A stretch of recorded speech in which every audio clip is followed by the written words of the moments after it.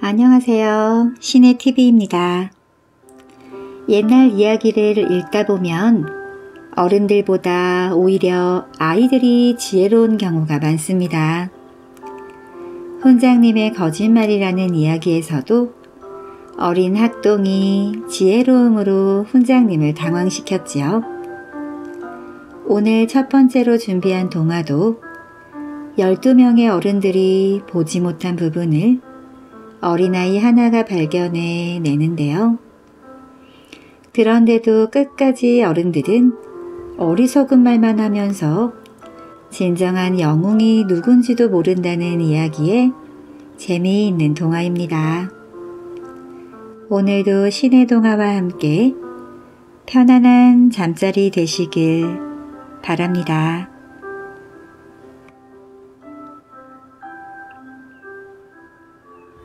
오늘의 동화 용감한 영웅은 누굴까? 옛날 아프리카의 어느 마을에 흥겨운 잔치가 벌어졌어요. 풍년이 들어서 곡식을 많이 거두어 드렸거든요. 야호, 먹을 게 아주 많아졌어. 사람들은 신이 나서 둥둥 북소리에 맞춰 덩실 덩실 춤을 추었어요. 다음 날 마을 청년 12명이 곡식 자루를 하나씩 들고 마을을 나섰어요. 어서 곡식을 찧어오자고. 어두운 숲속을 성큼성큼 걸어가고 있을 때 한 청년이 뒤를 돌아보며 말했지요. 이 숲에 무서운 표범이 산다는 소문 들었니? 그때 풀숲에서 사나운 짐승 소리가 들렸어요. 으아, 표범인가 봐. 청년들은 깜짝 놀라 앞으로 내달렸어요. 휴, 큰일 날 뻔했다. 청년들은 이웃 마을의 방앗간까지 재빨리 걸었어요. 청년들은 서둘러 곡식을 찧어서 다시 자루에 담았지요. 어두워지기 전에 어서 마을로 돌아가자. 청년들은 곡식을 한 자루씩 어깨에 메고 노래를 부르며 걸어갔어요. 표범이 나온다는 숲에서는 목소리를 높였지요. 청년들이 한 줄로 서서 씩씩하게 걷고 있을 때였어요. 맨 뒤에서 걷던 청년이 친구들을 불렀어요. 얘들아, 잠깐만. 왜? 무슨 일이야? 맨 뒤에 청년이 고개를 갸웃거리며 말했어요. 거참 이상하네. 우리는 분명히 12명이었지? 다른 청년들이 고개를 끄덕였어요. 그런데 지금은 한 명이 모자라. 잘못 세웠겠지. 내가 다시 세어볼게. 맨 앞에 청년이 수를 세기 시작했어요. 한 명, 두 명, 세 명, 열 명, 열한 명. 청년이 깜짝 놀라 외쳤어요. 정말이네? 열한 명이야. 다른 청년들도 번갈아 가며 세어보았어요. 하지만 아무리 세어도 11명 뿐인 거예요. 어쩌면 좋아. 누군가 길을 잃었나 봐. 얼굴이 하얗게 질린 청년이 주위를 두리번 두리번 혹시 표범에게 잡혀간 게 아닐까? 잠시 뒤 청년들이 훌쩍훌쩍 울기 시작했어요. 아이고, 표범에게 잡아먹혔나 봐. 어, 친구를 잃어버리다니. 청년들은 저마다 소리 높여 울었어요. 한 청년이 벌떡 일어나며 말했어요. 노래를 부르지 말고 번호를 셀걸. 그랬다면 친구가 없어진 것을 일찍 알았을 텐데. 맞아, 그 친구는 지금쯤 표범 밥이 되었겠지? 그때 한 청년이 절레절레 고개를 저었어요. 아니야. 우리들은 모두 용감하잖아. 그 친구도 용감하니까 괜찮을 거야. 다른 청년도 눈물을 닦으며 외쳤어요. 맞아. 분명히 용감하게 맞서 싸웠을 거야. 그것도 맨주먹으로 말이야. 또 다른 청년이 그 말에 맞장구 쳤어요. 그 친구는 정말 용맹한 전사야. 우리가 걱정할까봐 비명도 지르지 않았잖아. 하지만 표범을 이기기는 힘들어. 한 청년의 말에 청년들은 다시 엉엉 울기 시작했어요. 아무리 슬퍼도 우리는 마을로 돌아가야 해. 그래, 어서 가자. 청년들은 곡식 자루를 짊어지고 다시 걸었지요. 청년들이 힘없이 터덜터덜 돌아오자 마을 사람들이 깜짝 놀라 달려나왔어요. 아니 무슨 일인가? 왜 울면서 돌아온 거야? 추장이 앞으로 나서며 물었어요. 청년들은 곡식 자루를 내려놓고 또다시 엉엉 한 친구가 표범에게 끌려갔습니다. 우리가 그 친구를 지켜주었어야 했는데 청년들이 너도 나도 말했어요. 하지만 아주 용감하게 싸웠습니다. 무서워하거나 겁내지도 않았습니다. 마을 사람들도 훌쩍훌쩍 울었어요. 오, 세상에 이를 어쩌면 좋단 말인가. 마을은 금세 울음바다가 되었지요. 그런데 그때 한 꼬마가 이상하다는 듯 고개를 갸웃거리며 말했어요. 곡식 자루는 모두 12개인데요. 그러자 추장이 핀잔을 주었어요. 얘야, 곡식 자루 때문에 우는 게 아니란다. 하지만 추장님, 곡식 자루가 12개면 모두 다 돌아온 거 아닌가요? 추장이 눈물을 닦고 청년들을 세어보았어요. 하나, 둘, 셋, 열하나, 열둘. 어? 열둘이 맞네. 이 사람이 세고 저 사람이 세어도 청년들은 모두 열두 명이었지요. 그러자 모두들 기뻐하며 소리쳤어요. 우와, 모두 다 돌아왔어. 그렇다면 표범에게 잡혀갔던 청년이 살아 돌아온 게 틀림없습니다.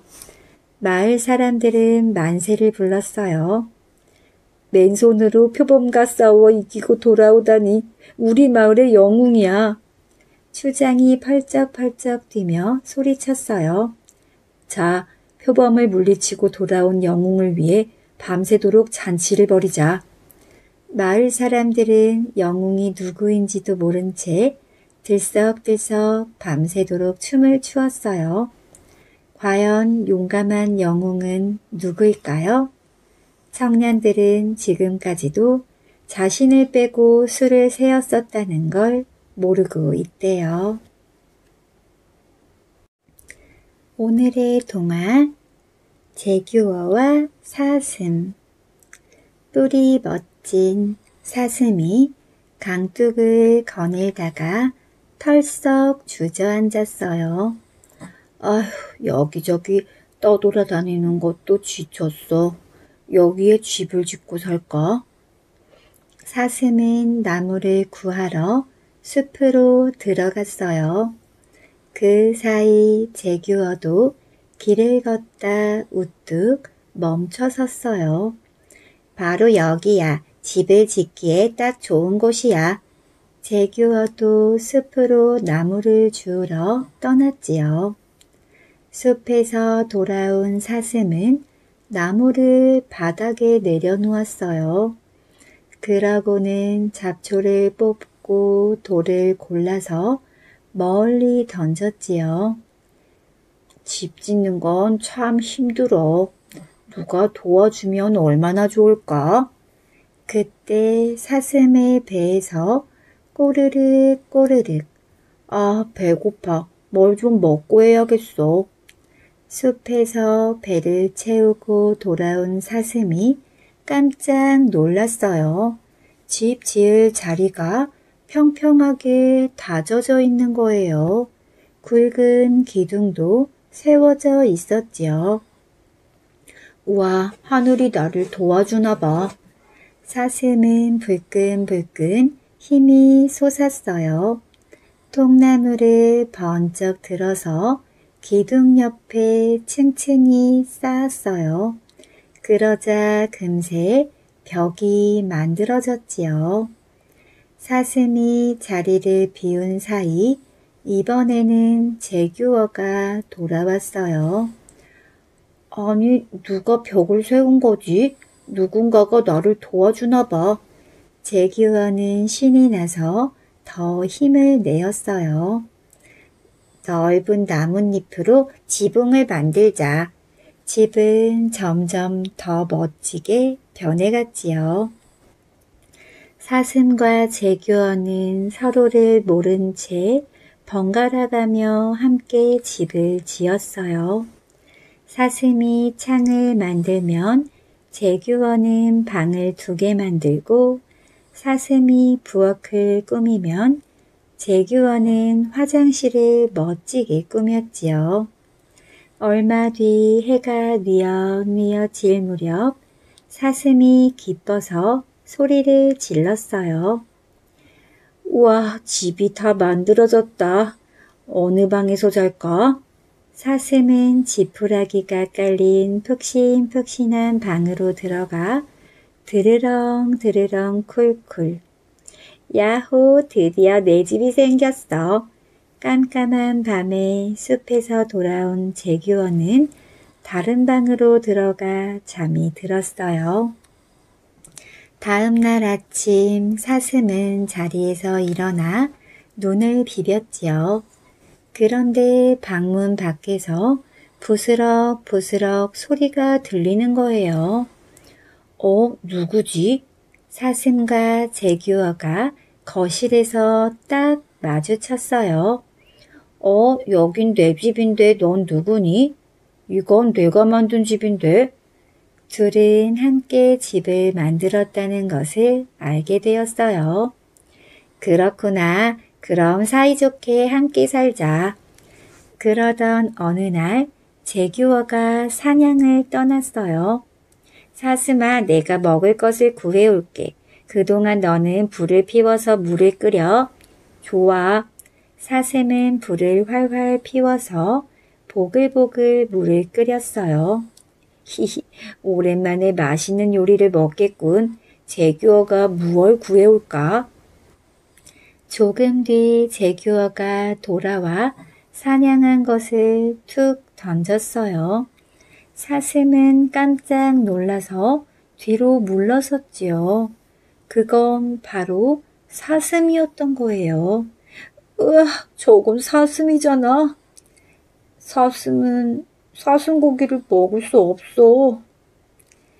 그날 밤 사슴은 쫄쫄 굶어서 배가 고팠는지 이리 뒤척 저리 뒤척 잠을 이룰 수 없었어요. 그리고 제규어가 자신까지 잡아먹으면 어떡하지 하며 걱정도 했지요. 다음 날 이번에는 사슴이 사냥을 떠났어요. 제규어는 휘파람을 불며 요리 준비를 했지요. 어제 먹은 사슴고기는 참 맛있었어. 오늘은 무얼 먹게 될까? 제규어는 채소를 탁탁 썰고 커다란 냄비에 물을 팔팔 끓였어요. 얼마 뒤 사슴이 돌아왔지요. 사슴이 잡아온 것은 죽은 새끼 제규어였어요. 제규어는 화들짝 놀라서 눈을 질끈 감았지요. 내가 사슴을 잡아와서 안가품을 하는 건가? 제규어는 문을 쾅 닫고 방으로 들어가 버렸어요. 그러고는 자리에 앉아서 눈을 번쩍 떴어요. 잠들면 안 돼. 힘이 약한 사슴이지만 잠든 순간 날 해칠지도 몰라. 제규어는 스르르 감기는 눈을 계속 비볐어요. 아이고, 잠들 뻔했잖아.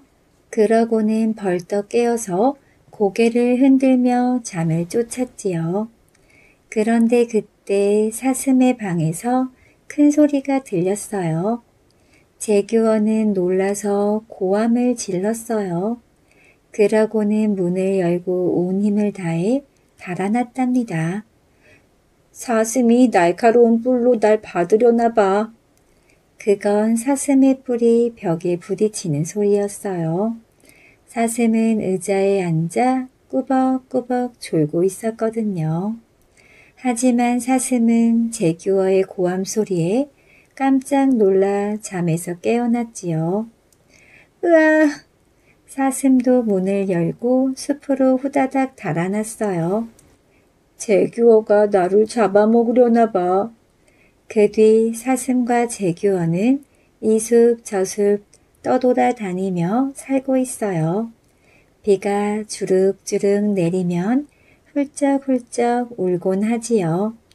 아, 따뜻한 집에서 살고 싶은데. 사슴과 제규어가 힘을 합쳐 만든 멋진 집은 지금도 텅 비어 있답니다. 오늘의 동화 콘도르의 후회 옛날 높은 낭떠러지 위에 커다란 새 콘도르가 살았어요. 콘도르는 오래오래 살아 요술도 부릴 줄 알았지요. 콘도르는 훨훨 날아다니며 동물들을 괴롭혔어요. 내 말을 듣지 않으면 혼내줄 거야. 어느 날 콘도르는 파닥파닥 작은 새를 붙잡았어요. 조그맣고 못생긴 새야, 우리 집에 가서 내 머슴이 되어라. 싫어요, 놓아줘요. 작은 새가 버둥거리자 콘도르는 입을 쩍 벌렸어요. 내 말을 안 들으면 잡아먹을 테야. 알았어요. 시키는 대로 할게요. 콘도르는 작은 새를 집으로 데려갔어요. 작은 새는 날마다 청소하랴 설거지하랴 너무 힘들었어요. 그래서 기회만 있으면 도망가려고 벼르고 있었지요. 그러던 어느 날 콘도르가 꾸벅꾸벅 졸고 있는 거예요. 바로 지금이야. 작은 새는 살금살금 집 밖으로 도망쳤지요. 앞으로 콘도르의 눈에 띄지 않게 꼭꼭 숨어 지내야지. 잠에서 깬 콘도르가 두리번 두리번 어? 작은 새가 달아나 버렸잖아. 음, 다시 찾아서 잡아와야지. 콘도르는 골짜기 아래로 휙 날아가 숲속을 샅샅이 뒤졌지요. 작은 새는 숨어서 콘도르를 지켜보았어요. 또 못된 짓을 할지도 몰라 따라가 봐야지. 에, 어디 숨은 거야? 콘도리는 산골 마을 위를 날다가 양떼를 몰고 가는 한 아가씨를 보았어요. 와, 정말 예쁘다. 작은 새 따위는 있고 저 아가씨를 신부로 삼아 집으로 데려가야지. 콘도르는 멋진 청년으로 변해서 아가씨에게 다가갔어요. 오, 아름다운 아가씨, 저와 결혼해 주세요. 아가씨는 청년으로 변한 콘도르에게 한눈에 반했어요. 부모님께 여쭤보아야 해요. 아가씨는 청년을 데리고 집으로 갔지요. 오, 늠름하고 멋진 청년이구나. 아가씨의 부모님도 청년이 무척 마음에 들어 결혼을 허락해 주었답니다. 결혼식이 끝나자 청년은 아가씨를 데리고 길을 떠났어요. 청년이 아가씨에게 말했어요. 내 등에 엎혀요. 대신 절대 눈을 뜨면 안 돼요. 아가씨가 눈을 감자 청년은 다시 콘도르로 변했어요. 그러고는 하늘 위로 훨훨 날아올랐지요. 어머, 하늘을 나는 것 같아요. 아가씨는 눈을 감은 채 신이 나서 외쳤어요. 이제 눈을 떠. 눈을 뜬 아가씨는 깜짝 놀랐어요. 청년은 사라지고 무섭게 생긴 콘도르만 있었으니까요. 아래는 낭떠러지여서 달아날 수도 없었지요. 집에 가고 싶어요. 안 돼. 이제 여기서 청소도 하고 밥도 지으면서 나랑 같이 사는 거야. 아가씨는 훌쩍훌쩍 울며 하루하루를 보냈지요. 어느 날 콘도르가 사냥하러 나갔을 때 작은 새가 날아왔어요. 그러고는 굵은 덩쿨을 건네주며 말했지요. 아가씨, 어서 달아나세요. 이 넝쿨을 타고 아래로 내려가면 마을이 나올 거예요. 작은 새야 고마워. 아가씨는 넝쿨을 잡고 아래로 내려가 집으로 돌아갈 수 있었지요.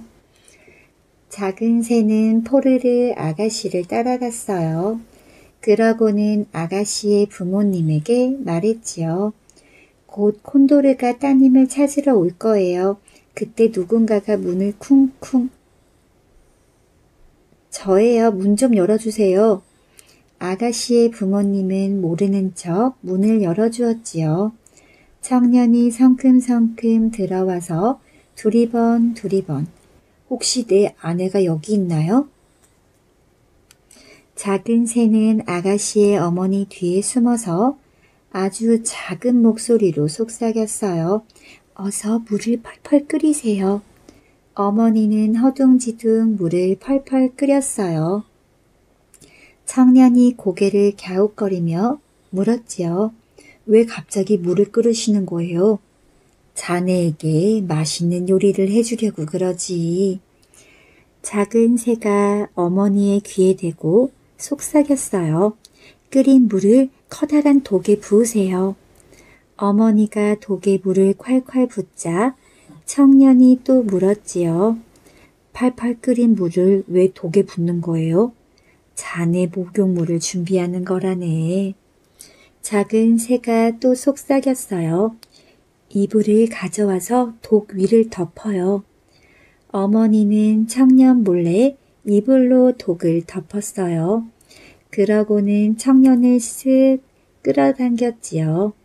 요리가 다 될 때까지 폭신한 의자에 앉아서 좀 쉬게. 청년이 이불 위에 앉자마자 뜨거운 물이 찰랑거리는 독 속으로 풍덩.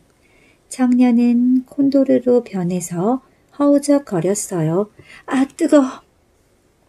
작은 새가 큰 소리로 외쳤어요. 어서 뚜껑을 덮어요. 아버지가 뚜껑을 쾅 닫았어요. 콘도르가 뚜껑을 쿵쿵 두드리며 외쳤지요. 작은 새야 날 꺼내줘. 다시는 안 괴롭힐게.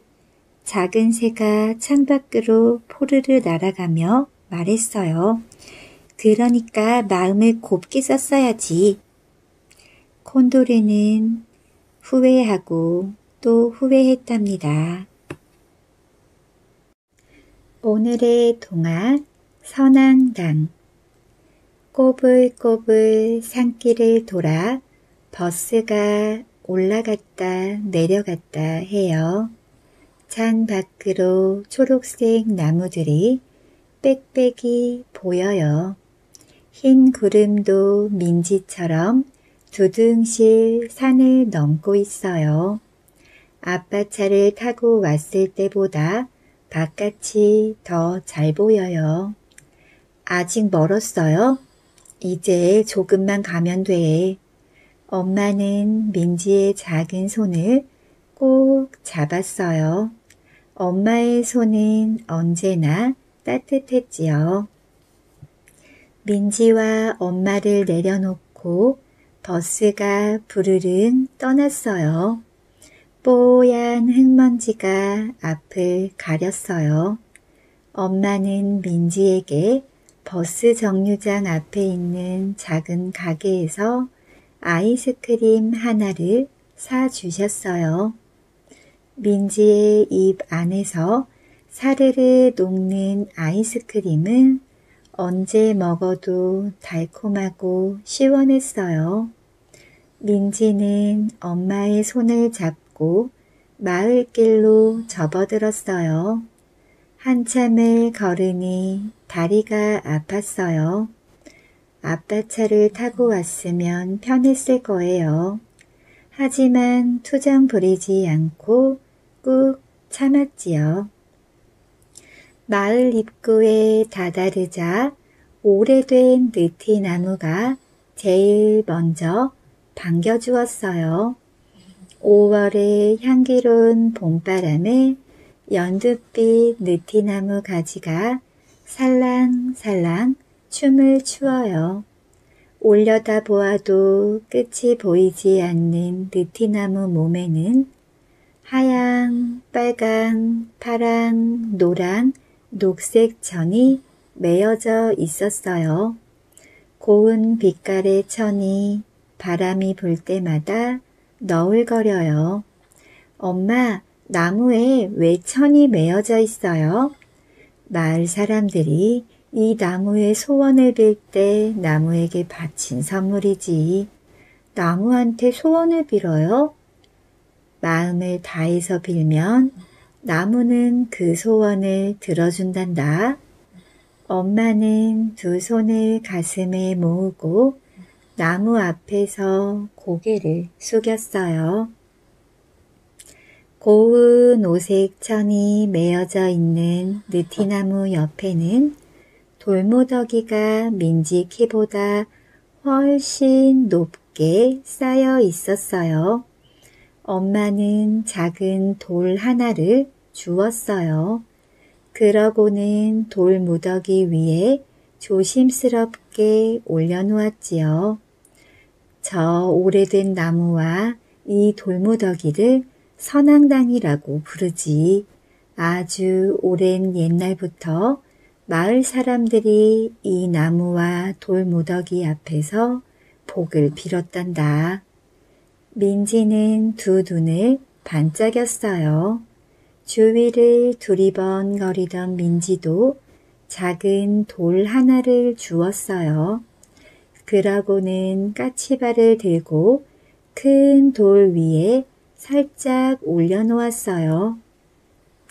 엄마와 민지는 돌무더기 앞에서 두 손을 모으고 기도했어요.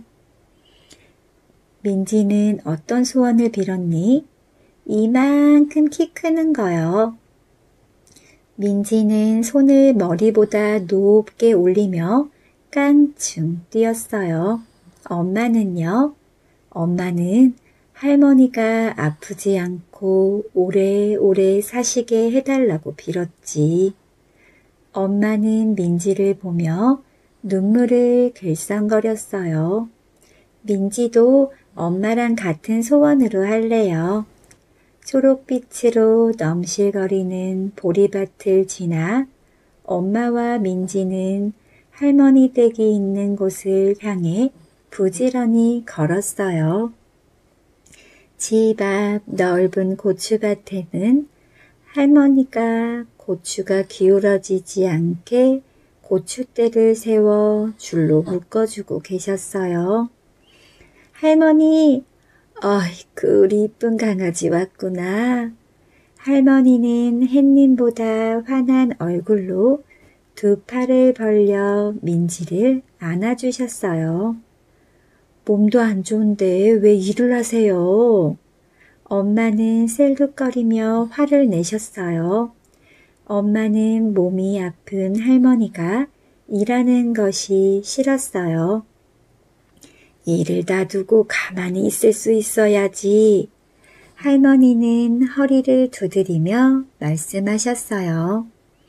민지는 앞마당에서 암탉을 쫓아다니며 놀고 있어요.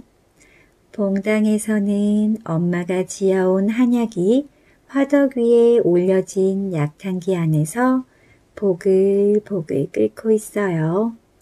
엄마는 툇마루에 앉아 할머니의 팔다리를 꾹꾹 정성껏 주물러 드려요.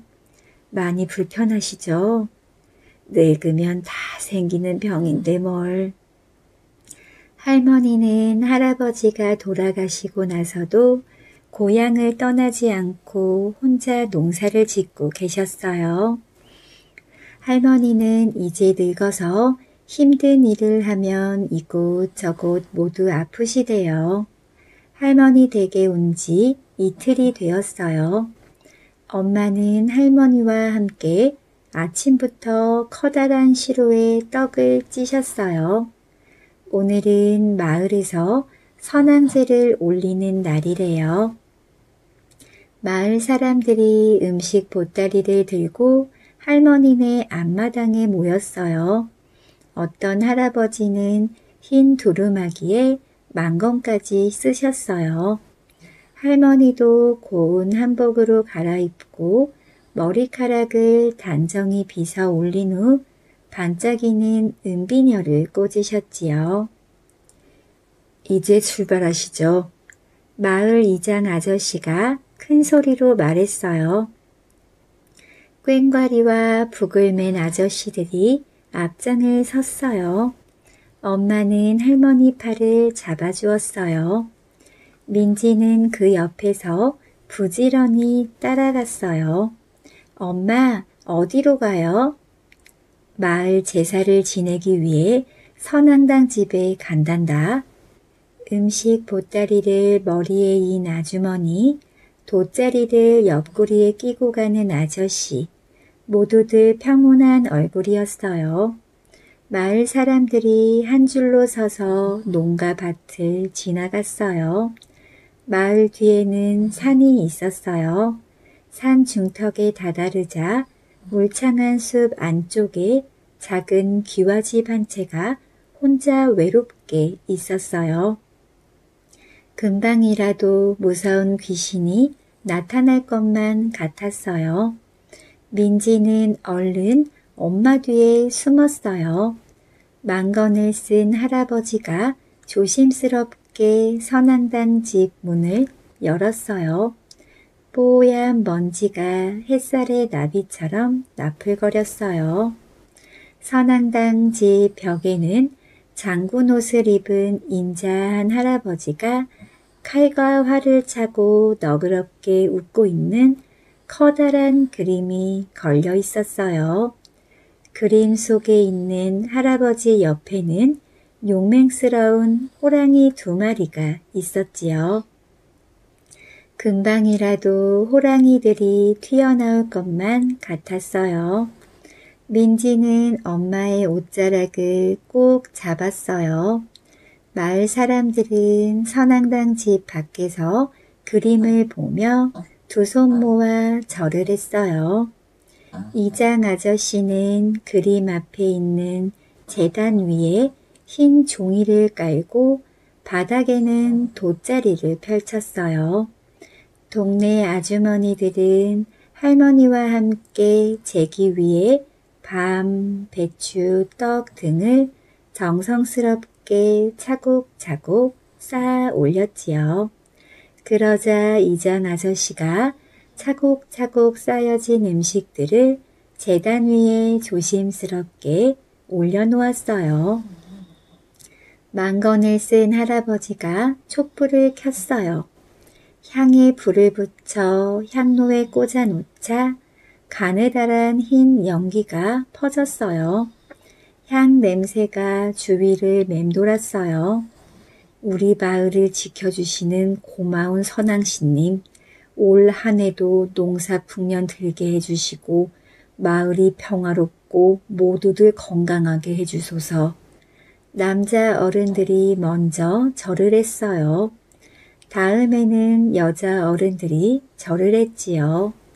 민지도 엄마를 따라 코가 땅에 닿게 절을 했어요. 우리 할머니 오래오래 살게 해주세요. 민지 키도 크게 해주세요. 민지가 집으로 돌아가는 날이에요. 할머니는 엄마가 말리는데도 마을 입구까지 따라오셨어요. 오색천이 메어져 있는 오래된 느티나무와 차곡차곡 정성스럽게 쌓아 올려진 돌무더기 앞에서 할머니는 두 손을 모아 소원을 빌었어요. 우리 민지 집까지 아무 탈 없이 잘 가게 보살펴 주소서. 엄마와 민지도 할머니를 따라 두 손을 모으고 소원을 빌었어요. 연두빛 느티나무 가지가 바람에 흔들흔들 거렸답니다. 오늘의 동화 할머니와 호미 봄 햇살이 창문 틈으로 고개를 내밀어요. 반대편 벽에 걸린 호미를 깨웠지요. 빨리 일어나, 봄이 왔어. 호미는 하품을 하며 주위를 둘러보았어요. 하지만 어둑한 창고 안은 봄이 왔다는 것을 느낄 수 없었어요. 나가고 싶다. 나가고 싶다. 호미는 마술사처럼 중얼중얼 주문을 외웠어요. 속상하거나 원하는 일이 있을 때 나오는 버릇이지요. 그때 문이 열리며 할머니가 창고 안으로 들어왔어요. 호미는 할머니 손에 들려 밖으로 나왔지요. 아, 눈부셔. 봄빛이 고인 마당에서 작년에 없던 개를 보게 되었어요. 귀여마 바구니 좀 가져와라. 할머니 말에 귀여미는 얼른 바구니를 들고 왔지요. 아휴, 이쁜 것. 할머니는 심부름을 할 때마다 귀여미를 쓰다듬어 주었어요. 쉴 때는 귀여미와 다정하게 놀아주기도 했고요.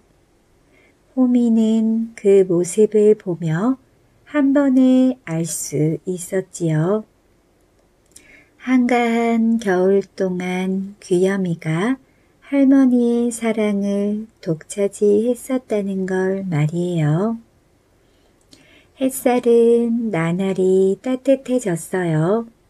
봄을 준비하는 할머니의 손길은 더욱 바빠졌지요. 호미도 덩달아 바빠졌어요. 흙 다루는 일만은 자신 있었거든요. 흙을 파고 뒤섞으면서 코를 킁킁 거렸어요.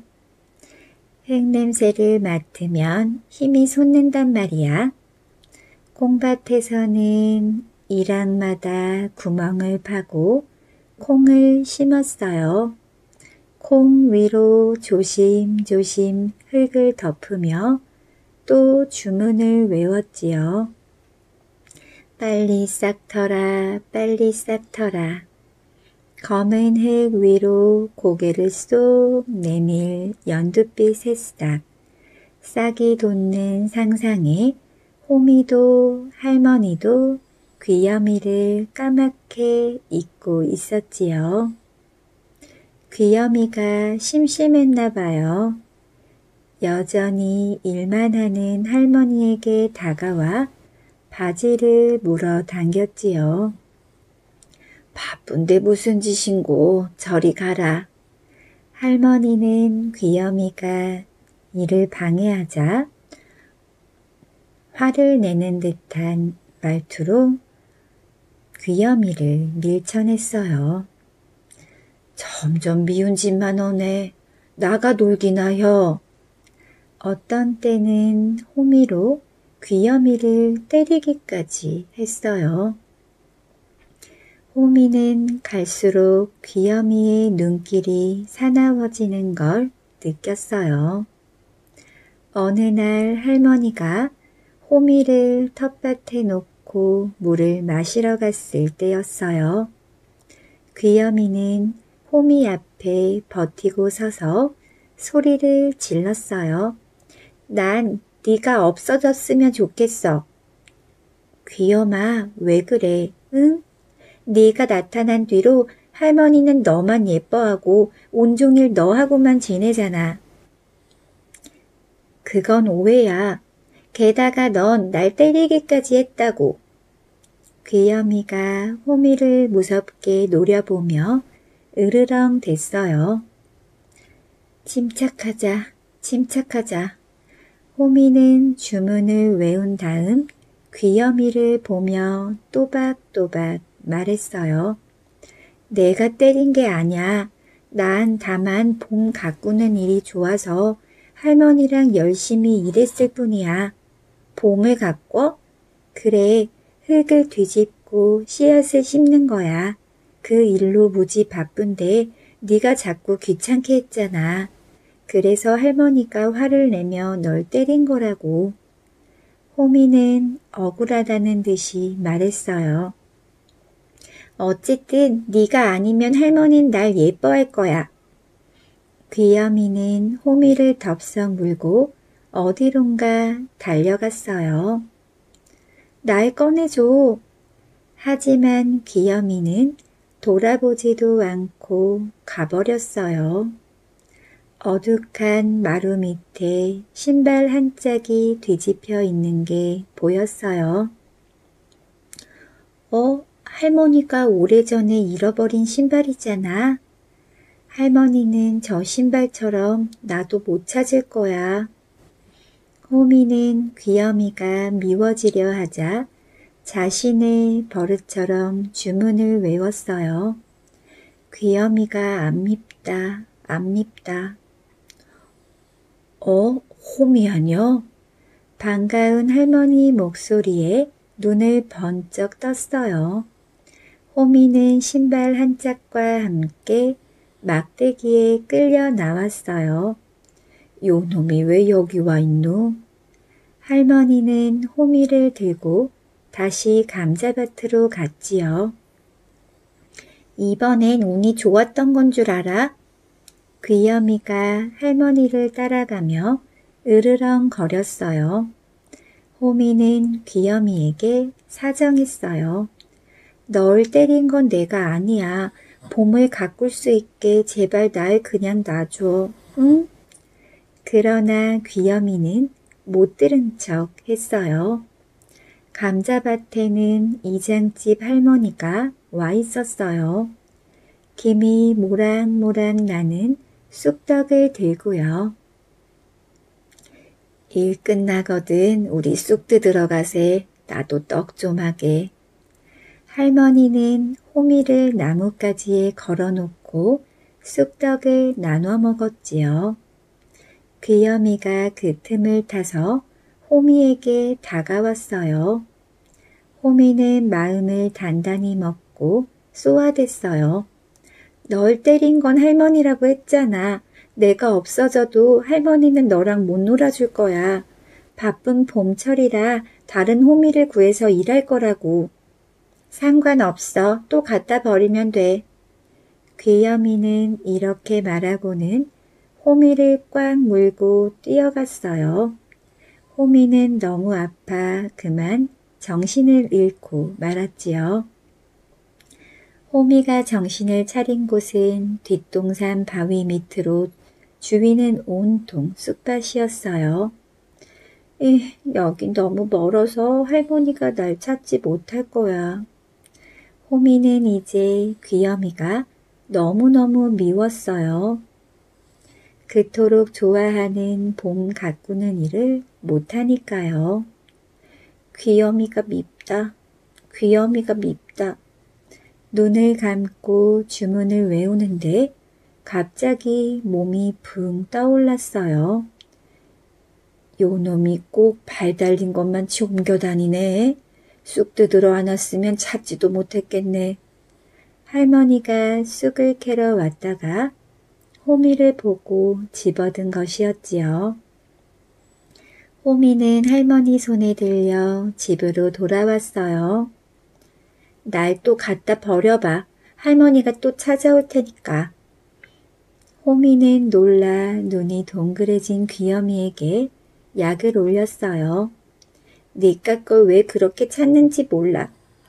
귀여미는 못마땅한지 툴툴거렸어요. 열무밭을 읽어야겠어. 이튿날 할머니는 호미를 바구니에 담고선 개울 건너에 있는 밭으로 나갔지요. 음, 향긋하고 축축한 땅 냄새. 호미는 모처럼 일을 하자 즐거웠어요. 어쩐 일로 귀여미도 호미를 괴롭히지 않고 생각에 잠겨 있었어요. 해가 점점 기울더니 산 위까지 내려왔어요. 할머니는 주섬주섬 호미를 챙겨서 집으로 돌아갔어요. 귀여미가 신이 났는지 꼬리까지 흔들며 개울뚝 위를 달려갔어요. 아이쿠, 뒤따라가던 할머니가 잠깐 기우뚱거렸어요. 휴, 넘어질 뻔했네. 할머니는 호미가 떨어진 줄 모르고 계속 걸어갔지요. 호미가 애타게 불러봤지만 아무 소용 없었어요. 얼마 후에 지나가던 황소가 호미를 뒷발로 찼어요. 호미는 개울 속에 풍덩 빠져버렸지요. 밤이 깊어가자 온몸이 얼어붙는 것 같고 외롭기까지 했어요. 할머니랑 귀여미는 함께 있겠지? 호미는 그제야 귀여미 맘을 알 수 있었어요. 할머니와 자기가 바쁘게 일하는 동안 무척 외로웠을 것 같았거든요. 밤새 호미는 추위에 떨며 주문을 외웠어요. 누군가 날 구해줄 거다. 날 구해줄 거다. 다시는 봄 가꾸는 일을 못하게 될까봐 겁이 났어요. 그러다 아침녘에 너무 지쳐 잠이 들고 말았지요. 호미는 잠결에 귀여미 목소리를 들었어요. 귀여미가 호미를 보더니 가까이 다가왔어요. 내 말이 맞았어. 네가 없어도 할머니는 계속 일만 했어. 봄이라서 바빴던 거지 네 탓이 아니었어. 귀여미는 호미를 개울에서 건져 할머니에게 달려갔어요. 다시 봄을 가꿀 수 있게 된 호미는 가슴이 터질 것 같았지요. 오늘의 동화 충성스런 개 어떤 아이가 개를 한 마리 길렀어요. 아이는 개를 무척 사랑했지요. 그런데 어느 날 개가 시름시름 앓더니 그만 죽고 말았어요. 아이는 아버지에게 부탁했어요. 아버지, 개를 집 뒤뜰에 묻어주세요. 그러자 아버지는 머리를 저으면서 말했어요. 그건 안 된다. 개를 집 안에 묻을 수는 없으니까. 이 일로 온 가족이 한자리에 모였어요. 그런데 가족 모두 생각이 달랐죠. 아버지는 한동안 고민하다가 라삐를 찾아갔어요. 라삐는 아버지의 말에 귀를 기울였지요. 그리고 이런 이야기를 들려주었어요. 어떤 집에 개가 한 마리 있었어요.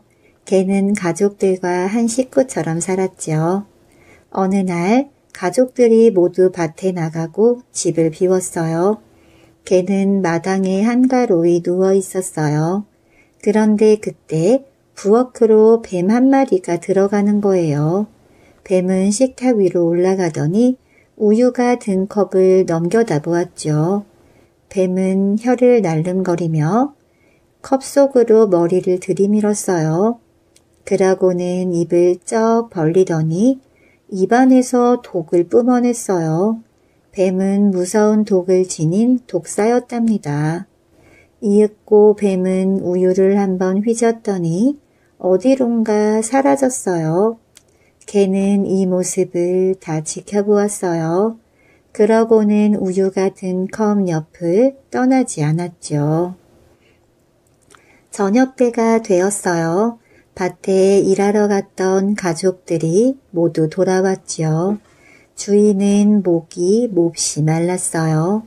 마침 식탁 위에 우유가 있는 것을 보았지요. 주인이 우유가 든 컵을 들자 개는 큰 소리로 짖었어요. 멍멍! 멍멍! 가족들은 갑자기 사나워진 개한테 조용히 하라고 소리쳤어요. 주인이 다시 우유가 든 컵을 집어들었어요. 그러자 개는 재빨리 주인한테 달려들었어요. 너무 놀란 주인은 컵을 떨어뜨렸어요. 우유가 든 컵은 그만 깨지고 말았죠. 개는 바닥에 쏟아진 우유를 허겁지겁 핥아 먹었어요. 주인이 이 모습을 지켜보며 말했어요. 네가 우유를 먹고 싶었던 모양이구나. 그런데 말을 끝마치기도 전에 개는 몸을 뒤틀면서 쓰러졌어요. 개는 우유 속에 독이 든 것을 알리려고 가족들 앞에서 우유를 먹고 죽은 것이죠. 목숨을 건진 주인은 마당 한 구석에 개의 무덤을 정성껏 만들어 주었어요. 아버지는 이야기를 다 듣고 집으로 돌아왔어요. 그리고 아들이 바라던 대로 뒤뜰에 개를 정성껏 묻었어요. 비록 하찮은 짐승이지만 마음 씀씀이는 사람과 같다는 것을 알았지요. 그리고 개를 잃은 슬픔을 이해하게 되었답니다. 오늘의 동화 한 걸음부터 오늘은 미술 시간에 학급별 합동 작품 전시회에 내보낼 작품을 만드는 날입니다. 제목과 내용을 정하고 각자 한 가지씩 맡아서 만들자.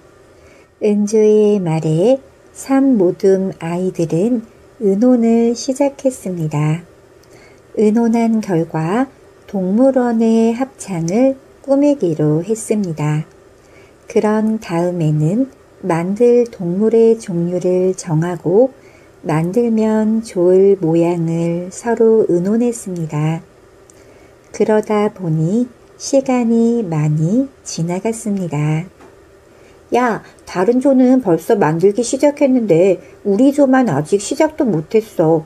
50마리의 합창단을 언제 다 만들지? 각자 좋아하는 모양을 만들어 합치기만 하면 될 걸 가지고 시간만 꾸냐? 다 만들면 밖에 나가 놀아도 된댔는데 우리만 못 놀겠다. 미니의 불평에 진성이가 거들며 화를 냈습니다. 그렇더라도 잘 만드는 게 중요하지 대충 만들 거야? 누가 대충 만든대? 은주와 진성이가 다투려고 하자 승재가 말렸습니다. 다투지 말고 지금부터 시작하자. 그래도 다 만든 다음에 잘못되었다고 후회하는 것보다는 처음부터 잘 만드는 게 좋잖아. 난 코뿔소 가족이랑 기린을 만들게. 은주가 마음을 풀고 자기가 만들 몫을 정하자 윤수도 정했습니다. 위험 있는 사자와 호랑이는 내가 만들게. 난 살찐 하마와 돼지 삼형제, 미니 넌? 어, 꾀꼬리와 수탉, 역시 노래를 잘하는 동물은 내가 만들어야 해. 나머진 진성이 네가 만들어라. 원숭이 남매와 강아지 형제다. 잘 만들어. 알았어. 내 염려 말고 너나 빨리 만들어. 빨리 만드는 게 중요한 게 아니야. 잘 만드는 게 중요하지. 숭재 너나 잘 만들어. 돼지 멱다는 소리라는 말 듣는 돼지나 만들지 말라고. 자자, 마음이 합쳐져야 동물도 잘 만들어지고 만들어진 동물들도 음이 잘 맞아 합창이 잘 됩니다. 멋진 동물 합창단. 은주가 분위기를 바꾸려는 듯 노래처럼 흥얼거리며 신문지를 깔자 모두 차흙을 꺼냈습니다. 차흙을 뚝 떼어 주물럭거리는 진성이를 보고 은주가 말했습니다. 진성아, 철사로 뼈대를 먼저 만들어. 순서 잘 알잖아. 알았으니까 선생님 같은 소리 좀 그만해라. 도리어 은주에게 핀잔을 한 진성이는 부지런히 만들기 시작했습니다. 뼈대를 잘 만들어야 원하는 모양이 되잖아. 모양이 잘못되면 즐겁게 노래하는 꾀꼬리가 아니라 시무룩한 꾀꼬리가 돼. 맞다. 굵은 목소리가 흘러나올 것 같은 사자가 아니라 낮잠 자는 사자를 만들면 안 되지. 아이들은 재미있는 이야기를 나누며 열심히 만들었습니다. 털실로 철사를 잘 감싸줘야 차르게 잘 붙어. 은주는 진성이 들으라는 듯 책을 읽는 것처럼 말하며 철사의 털실을 감았습니다. 시간이 지나자 모두 열심히 만드느라 웃고 떠들던 이야기 소리도 들리지 않았습니다. 열심히 자기가 맡은 동물을 만들던 은주가 진성이를 쳐다보았습니다. 벌써 원숭이 다 만들고 강아지야? 승재도 진성이가 너무 빨리 만드는 게 불안한 모양이었습니다. 천리를 단숨에 갈 수는 없어. 한 걸음부터 차근차근 옮겨야지. 속도를 안 내면 언제 이 많은 동물들을 다 만드냐? 독창하는 동물을 만들었으면 간단할 텐데 하필 합창단이람. 진성이는 빨리 만들고 나가 놀고 싶은 마음에 부지런히 만들었습니다. 자기 몫을 다 하면 나가도 되지? 얼마 후 진성이가 차득 부스러기를 뭉치며 물었습니다. 벌써 다 만들었니? 그렇지만 모든끼리 같이 끝나야지. 무슨 소리야? 그러려면 왜 각자 맡아서 만드냐? 알았어. 너 먼저 나가. 진성이의 목소리가 높아지자 승재가 대답했습니다. 진성이가 나가자 모두 한마디씩 했습니다. 어쨌든 진성이가 처음으로 자기 몫을 했나 보다. 그래, 여러 마리였는데 다 만들어서 다행이다.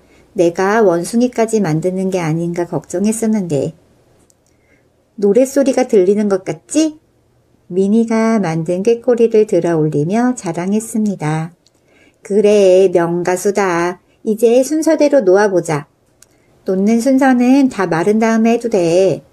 아이들은 교실 뒤 사물함 위로 동물들을 모두 옮겼습니다. 이틀이 지나자 동물들은 제법 잘 말랐습니다. 그런데 점심시간에 동물들을 둘러보던 진성이가 소리쳤습니다. 누가 내 원숭이 꼬리 뗐어? 산모듬 아이들이 뛰어갔습니다. 정말 원숭이 두 마리의 꼬리가 떨어져 있었습니다. 다른 모둠 아이들이 떼어낸 거 아니야? 우리 모둠께 잘 만들어졌으니까. 분명히 그늘에서 말렸으니까 떨어질 이유가 없는데? 모두 고개를 갸웃거리는데 은주가 물었습니다. 진성이 너 철사로 뼈대 만들 때 꼬리는 안 만들었지? 그래, 구부리기가 힘들어서 그까지 꼬리 좀 안 만들면 어떠냐? 그까지 거라니 처음이 얼마나 중요한데 진성이가 떨어진 원숭이 꼬리를 붙이려고 애쓰며 말했습니다. 이거 어쩌지? 선생님께서 오늘 뽑든다고 하셨는데 이제 붙여봐야 소용없어. 억지로 안 붙어. 우리 모든 거 안 뽑히면 그건 다 진성이 네 탓이야. 미니가 으름장을 놓자 은주가 아쉬운 목소리로 중얼거렸습니다. 하는 수 없지 뭐. 정말 열심히 노래하는 동물 합창단이구나. 원숭이 꼬리가 빠지도록 열심히 했으니 말이다. 어느새 선생님이 뒤에 오셔서 웃으며 말씀하셨습니다.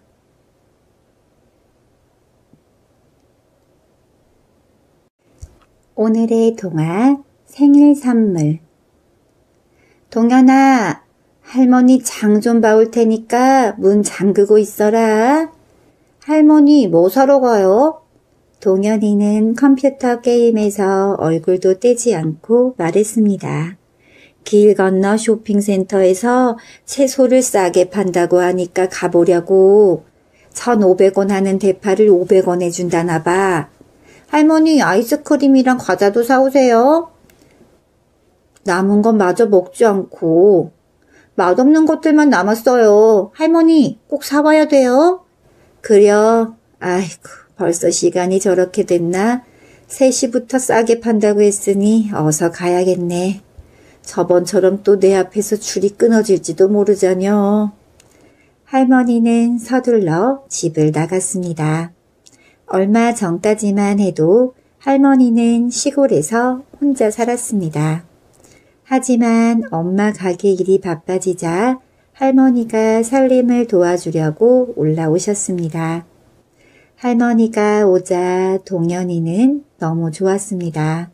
학교 끝나고 집에 오면 기다려주는 사람이 있어서 쓸쓸하지 않았거든요. 동현이가 덤불 속에서 악당을 발견하고 총을 탕탕 쏘고 있는데 전화벨이 울렸습니다. 몇 번 울리다 끊기겠지 생각하고 동현이는 계속해서 총을 쏘아댔습니다. 하지만 전화벨 소리는 그치지 않았습니다. 에, 왜 하필 이런 때 전화야? 동현이는 짜증을 내며 수화기를 들었습니다. 여기 병원인데요. 양점네 할머니 되계시죠? 동현이는 뭐가 뭔지 이해가 되지 않았습니다. 이름은 맞는데요. 저희 할머니는 좀 아까 쇼핑센터에 장 보러 가셨어요. 글쎄, 너희 할머니가 우리 슈퍼에 오셨다 사람들에게 밀려 넘어지셨어. 세일 기간이라 사람들이 많이 몰렸었거든. 그래서 병원으로 모시고 온 거야. 쇼핑센터 종업원인 듯한 아가씨가 말했습니다. 동현이는 엄마 아빠에게 급히 전화를 했습니다. 컴퓨터 게임을 할 때는 잘도 돌아가던 손이 지금은 자꾸만 떨려 다른 번호를 눌러댔습니다. 아빠는 병원에 들렀다 할머니 옷을 가지러 집에 왔습니다.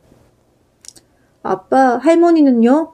넘어지면서 기절하셨다는데 깨어나셨어. 다친 데는 없고요? 여기저기 멍이 들긴 했는데 상처는 없으셔. 그만하기 정말 다행이야. 동현이는 아빠 차를 타고 할머니가 계시는 병원에 도착했습니다. 동현이랑 나란히 병원 복도를 걷던 아빠가 말했습니다. 아참, 음료수 산다는 걸 깜빡 잊었네. 동현아, 너 먼저 들어가라. 아빠는 지하 매점에 들러서 갈 테니까. 저기 끝에 210호야. 아빠와 헤어진 동현이는 발걸음을 재촉했습니다. 하지만 선뜻 들어가지 못하고 병실 문 앞에 멈춰 섰습니다. 열린 문 틈으로 울음소리가 새어 나왔거든요. 엄마는 어깨를 들썩이며 울고 있었습니다. 그런데 엄마는 할머니를 위로하는 게 아니라 마치 싸우는 것처럼 대들고 있었습니다. 엄마, 저번에도 제가 말했잖아요. 위험하니까 세일하는데 쫓아다니지 말라고. 1,500원 하는 대파를 500원에 판다는데 그게 어디냐? 벌써 1,000원이 싸잖아. 엄마, 제가 드리는 생활비가 적어요?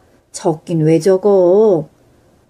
동현이 아빠랑 저랑 열심히 벌고 있잖아요. 그런데 노인이 왜 자꾸 그런 데 쫓아다니세요? 건 너희가 버는 돈이지 내가 버는 돈은 아니잖여. 1,500원 하는 대파를 500원에 사는 게 내가 버는 돈이야. 돈 버느라 밖에 나가서 하루 종일 고생들 하는데 집안에 있다고 어떻게 가만히 있어. 한 푼이라도 아껴 쓸 생각을 해야지. 그게 바로 살림하는 사람이 돈 버는 방법이여. 할머니는 아파 누워서도 엄마 말에 또박또박 대답을 했습니다.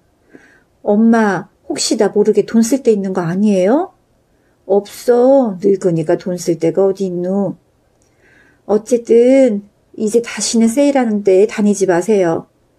그러다가 큰일 나니까 엄마 한숨 주무세요. 제가 다리 주물러 드릴 테니까. 이불을 걷어 올리던 엄마가 종이봉투를 발견했습니다. 엄마, 이게 뭐예요? 웬 바지가 여기 있어요? 사흘이면 동현이 생일 아니냐. 그래서 아까 대파 사러 지하로 내려가기 전에 1층 옷가게에서 샀어. 얼마 전부터 봐둔 건데 우리 동현이 입으면 좋을 것 같아서.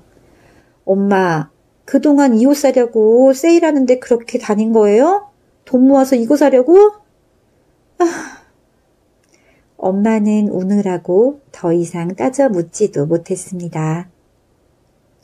난 할머니가 저러시는 줄도 모르고 맨날 맛있는 거 사달라고 보채기만 했으니 어떡해.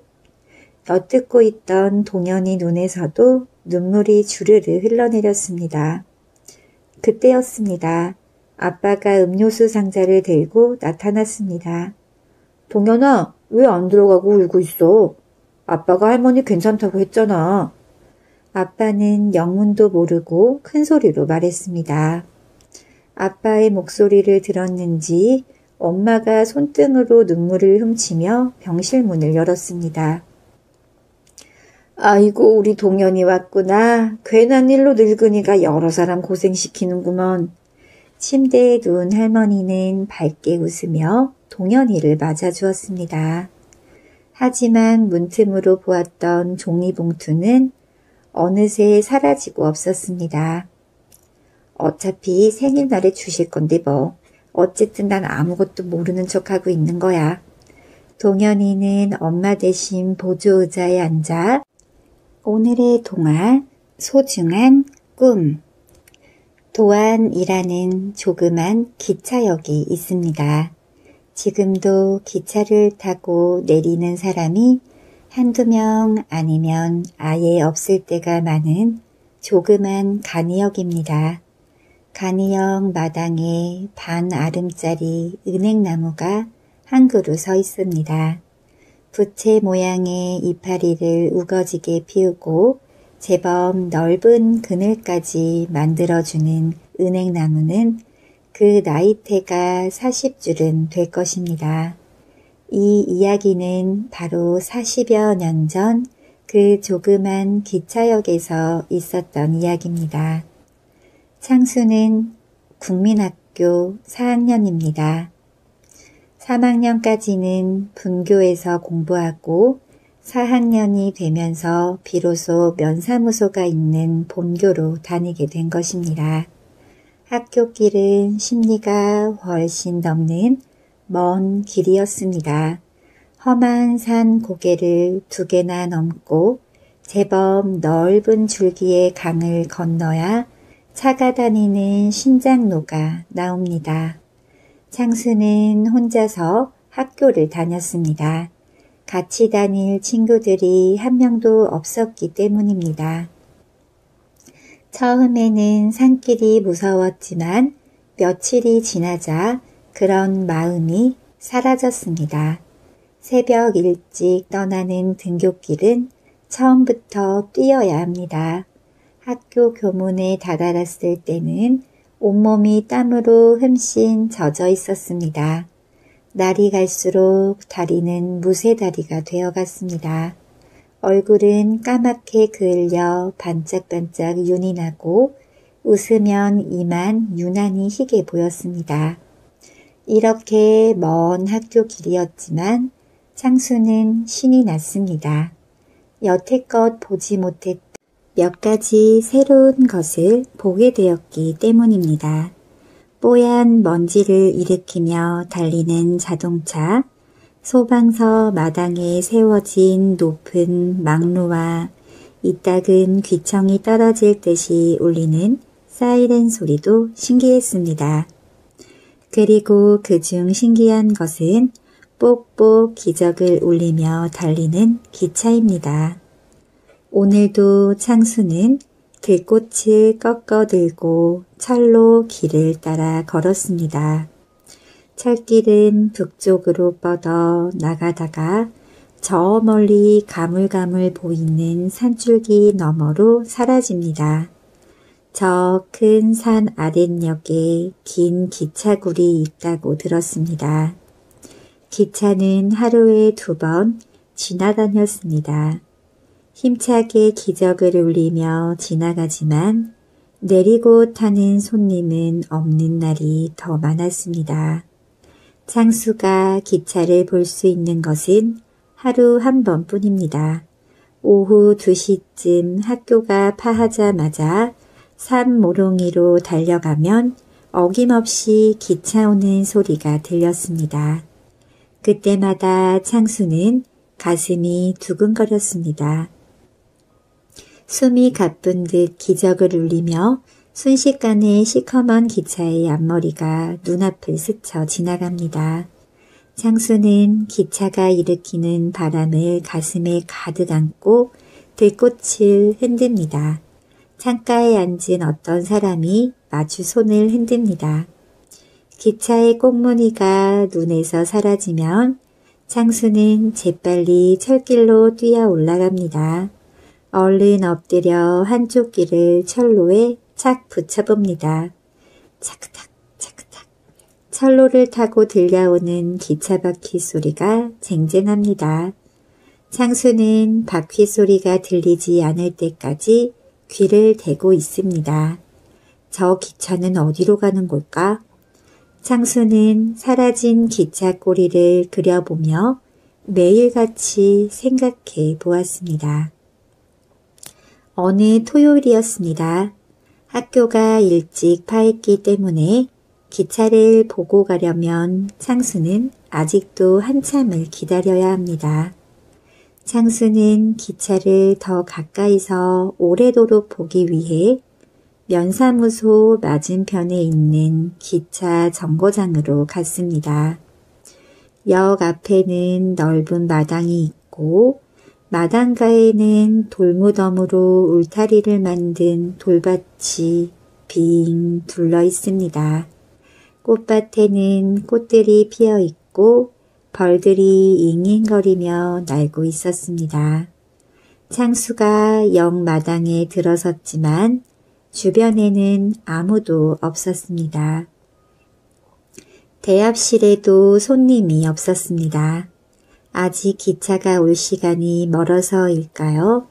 창수가 개찰구를 기웃거리자 역장 아저씨가 창문을 열었습니다. 어디 가려고 그러니? 아, 아니요. 노란 금줄이 두 개 둘러진 역장 아저씨의 모자가 정말 멋지게 보였습니다. 양복 소매에도 노란 줄이 둘러져 있고 반짝거리는 노란 단추들도 참 멋지다고 생각했습니다. 그때 사무실 안에서 전화벨이 뜨르륵 하고 울렸습니다. 전화를 받는 역장님의 목소리가 대합실까지 다 들렸습니다. 21열차 출발, 21열차 출발, 전도를 확인하라, 전도를 확인하라, 이상. 역장님은 전화를 끊고 곧 밖으로 나와 철길 옆에 있는 표지판 장치를 내렸습니다. 그러자 저쪽 철로 옆에 전봇대처럼 높이 세워진 빨간 표대가 떨거덩 하고 내려졌습니다. 곧 기차가 도착한다는 신호입니다. 자, 개찰합니다. 역장님이 차표를 찍는 가위를 들고 나왔습니다. 그러나 표를 산 손님은 한 명도 없었습니다. 토요일인데도 손님이 없구나. 누구 마중 나왔니? 역장님이 또 물었습니다. 아니요. 역장님은 빨강 파랑 신호기를 들고 플랫폼으로 나갔습니다. 누가 올까? 창수는 괜히 궁금해져서 가슴까지 두근거렸습니다. 뽁뽁 기적을 울리며 기차가 숨차게 달려 들어왔습니다. 모자의 줄을 턱에 두른 기관사와 역장님이 서로 경례를 주고받았습니다. 그 모습이 창수는 정말 멋지다고 생각했습니다. 기차는 숨 돌릴 사이도 없이 다시 기적을 울렸습니다. 갈 길이 바쁜 모양입니다. 기차는 곧 떠났습니다. 아무도 타는 사람 없고 내린 사람도 없었습니다. 창수는 멀어져 가는 기차 꽁무니를 기웃거려 보았습니다. 왠지 아무도 내림이 없는 기차의 뒷모습이 쓸쓸해 보였습니다. 플랫폼을 걸어 나오는 역장님도 신이 나지 않는 모양입니다. 나도 기차를 한번 타보았으면. 창수는 영 마당가의 돌무덤에 앉았습니다. 왜 집에 가지 않고 거기 있니? 언제 나왔는지 역장님이 창수 앞으로 다가왔습니다. 창수는 역장님한테 기차를 한 번만 태워달라고 말해볼까 하다가 그만두었습니다. 누구 올 사람이 안 왔니? 한 손에 어린 나무 한 그루를 든 역장님이 다시 물었습니다. 아니요. 그럼 왜 집에 가지 않고 배고플 텐데. 역장님은 그 어린 나무를 마당 한 가운데에 심기 시작했습니다. 아저씨, 기차 한 번 타는데 얼마예요? 왜? 기차 타보고 싶니? 네, 굉장히 타보고 싶어요. 그래, 어서 커라. 네가 중학생이 되어 읍내로 통학하게 되면 그땐 매일 타게 될 거다. 역장님은 어린 나무의 밑동에 흙을 복돋아주고 꾹꾹 밟았습니다. 이 나무 이름이 은행나무란다. 앞으로 30년쯤 크면 반 아름은 될 게다. 그땐 너도 어른이 되겠구나. 역장님은 잠시 그때쯤에 큰 나무를 올려다 보듯 하늘을 올려다 보았습니다. 그날 창수는 시오리 산길을 걸으며 기차를 딸 꿈에 부풀었습니다. 빨리 중학생이 되었으면 역장님은 정말 멋져. 경례하는 거, 깃발을 흔드는 것도 멋지고 전화 받는 목소리도 멋지다. 창수는 역장님의 모습을 떠올리며 먼 훗날의 꿈을 그려보았습니다. 여러분, 언제든지 충북선 기차를 타고 도안이라는 간이역을 지나거든 그곳의 역장님을 찾아보세요. 그리고 가만히 역장님의 왼쪽 가슴에 이름표를 살펴보세요. 박창수라는 이름 세 글자가 또렷할 것입니다.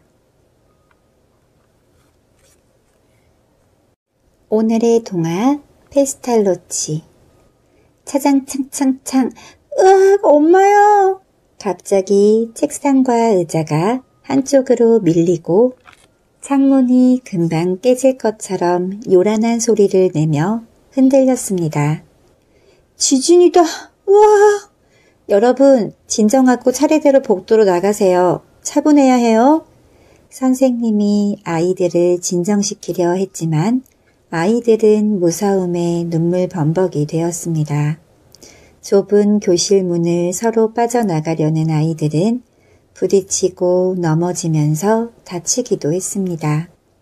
선생님과 아이들은 아무것도 챙기지 못하고 학교 운동장으로 허겁지겁 빠져나왔습니다. 우와, 살았다. 그래, 아까 교실이 흔들릴 때는 내가 땅속 나라로 빨려 들어가는 줄 알았어. 땅속 나라에 가면 편지 써라. 지진이 잠잠해지자 아이들은 처음 경험해보는 지진에 대해 농담을 하며 마음을 가라앉혔습니다. 그런데 언제까지 여기 있어야 돼? 책가방, 모자 모두 교실에 있는데 아이들은 서로 눈치를 보았습니다. 아무도 선뜻 교실에 들어간다고 말하지 못했습니다. 내가 가서 책가방과 모자를 가지고 나올게. 아이들 속에서 큰 소리치며 나서는 아이가 있었습니다. 바로 페스탈로치였습니다. 안 돼, 또 지진이 나면 어떻게 하려고. 걱정 마, 지진은 이미 끝났어. 내가 빨리 가져올게.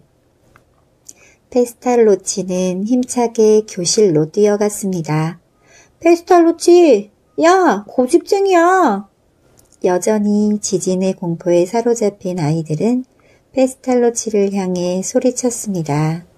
하지만 교실로 들어간 페스탈로치는 잠시 후 양손 가득 가방과 모자를 들고 나왔습니다. 와, 페스탈로치가 가방과 모자를 가지고 왔다. 아이들은 달려가 페스탈로치를 얼싸 안았습니다. 역시 페스탈로치는 고집쟁이야.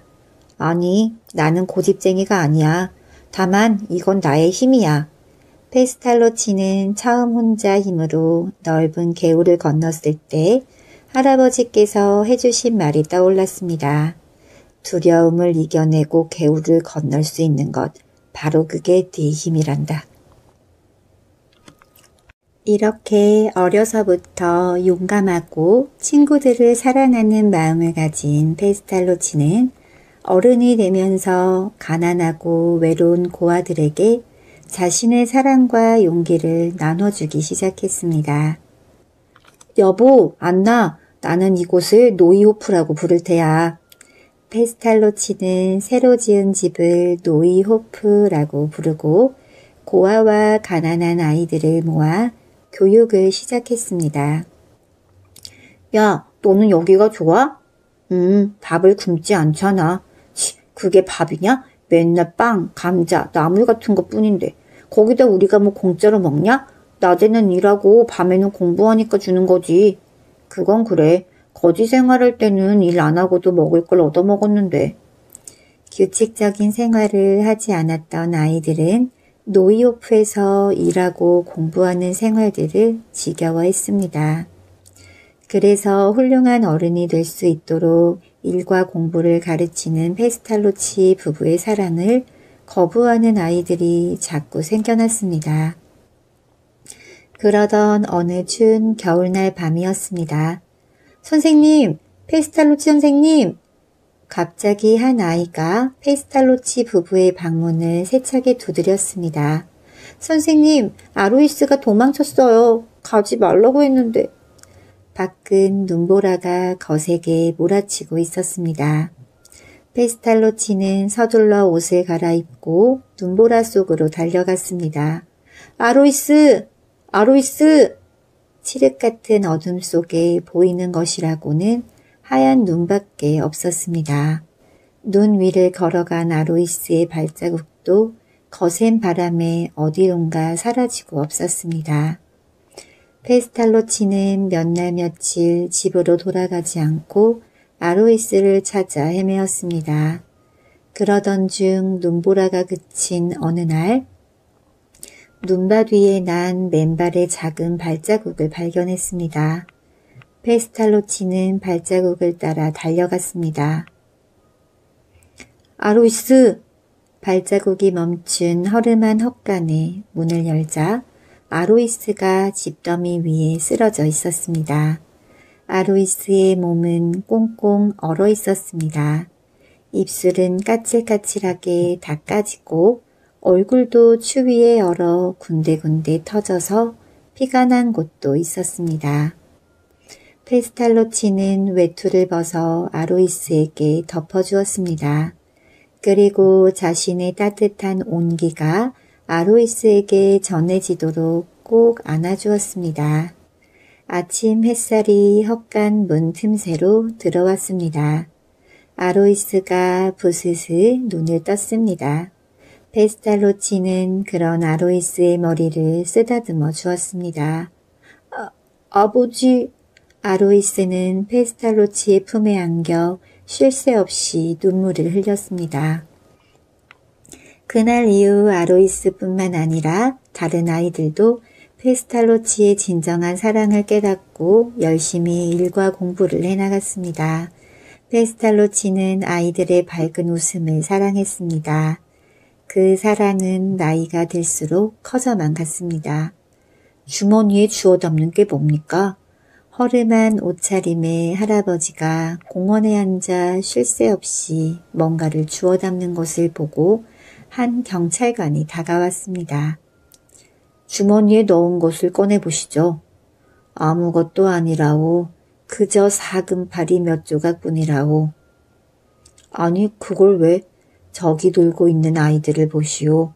맨발인 아이들도 있는데 이렇게 사금팔이가 떨어져 있으면 다치지 않겠소? 허름한 옷차림의 할아버지는 바로 페스탈로치였습니다.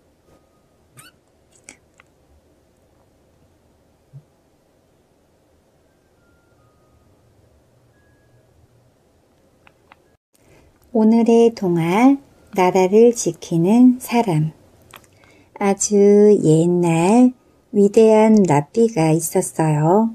모든 랍비가 믿고 따를 만큼 훌륭한 사람이었죠. 위대한 랍비는 나라가 더욱 잘 살기를 바랬어요. 어느 날 위대한 랍비는 제자들에게 물었어요. 잘 사는 나라를 만들려면 어떻게 해야 하는가? 한 제자가 대답했어요. 무엇보다 백성들이 부지런하고 성실해야 합니다. 그럼 나라를 지키는 사람은 누구라고 생각하나? 그러자 가장 현명한 제자가 대답했어요. 나라를 지키는 사람은 군인이나 경찰이 아니라고 생각합니다. 군인과 경찰이 아니면 누구라고 생각하나? 현명한 제자가 또렷한 목소리로 대답했지요. 선생님입니다. 선생님? 모두 놀란 얼굴로 현명한 제자를 쳐다보았어요. 현명한 제자는 아랑곳 없이 차근차근 말했지요. 앞날을 짊어지고 나갈 아이들을 가르치기 때문입니다. 위대한 라비는 흐뭇하게 웃으며 고개를 끄덕였어요. 그대 말이 맞다. 선생님이야말로 나라를 이끌고 지키는 분이지. 위대한 라비는 마을 사람들이 선생님을 어떻게 생각하는지 궁금했어요. 그래서 라비 두 명을 마을로 내려보냈죠. 마을에 들어선 두 라비는 사람들에게 말했어요. 이 마을을 지키는 사람을 만나고 싶습니다. 얼마를 기다리니 경찰서장이 나왔어요. 두 라비는 고개를 가로저으며 말했어요. 우리가 만나고 싶은 사람은 경찰서장이 아닙니다. 그러자 사람들은 어리둥절히 쳐다보았어요. 잠시 뒤 다른 사람이 두 라비에게 다가왔어요. 나는 이 마을의 수비대장이요. 마을을 지키는 사람을 찾는다기에 왔소. 두 라비는 또 고개를 가로저었어요.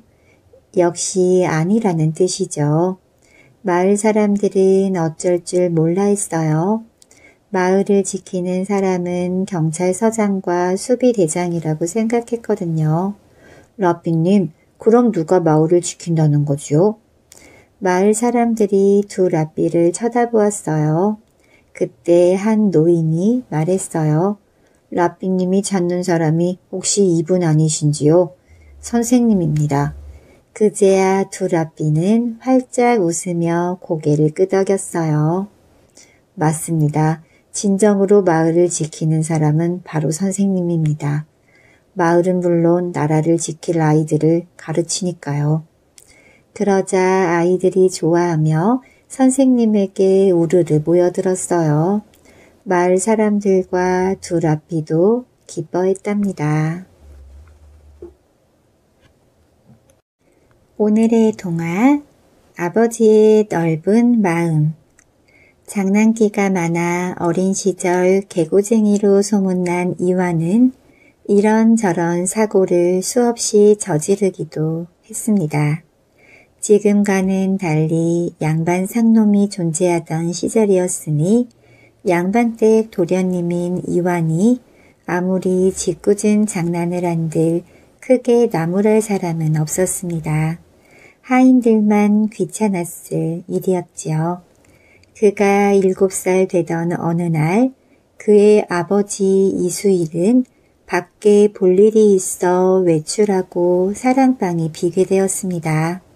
상상을 초월할 만큼 장난기가 다분한 소년 이완이 가만히 있을 리가 없었습니다. 아버지 방으로 들어간 그는 장판 위로 벼룩이 기어다니는 것을 발견하자 벼룩을 잡기 위해 송곳을 들고 온 방안을 찌르고 돌아다녔습니다.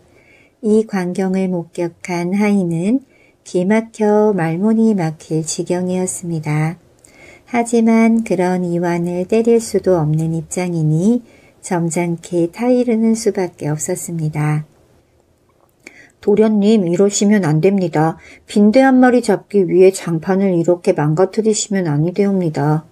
하인은 이완의 손에서 송곳을 빼앗았습니다. 하지만 그렇다고 가만히 있을 이완이 아니었습니다. 이리 내놓거라. 감히 나의 일에 끼어들다니 무례한 사람이군. 그는 오히려 하인을 나무라면서 재빠르게 송곳을 빼앗아서는 다시 벼룩을 쫓아다니며 방바닥을 찔렀습니다. 아무리 말려도 말을 듣지 않는 이완을 보면서 하인은 걱정만 할 뿐이었습니다. 그렇게 한참이 지났습니다. 이완은 드디어 벼룩을 잡아 하인에게 보여주면서 뿌듯해 하는 것이었습니다.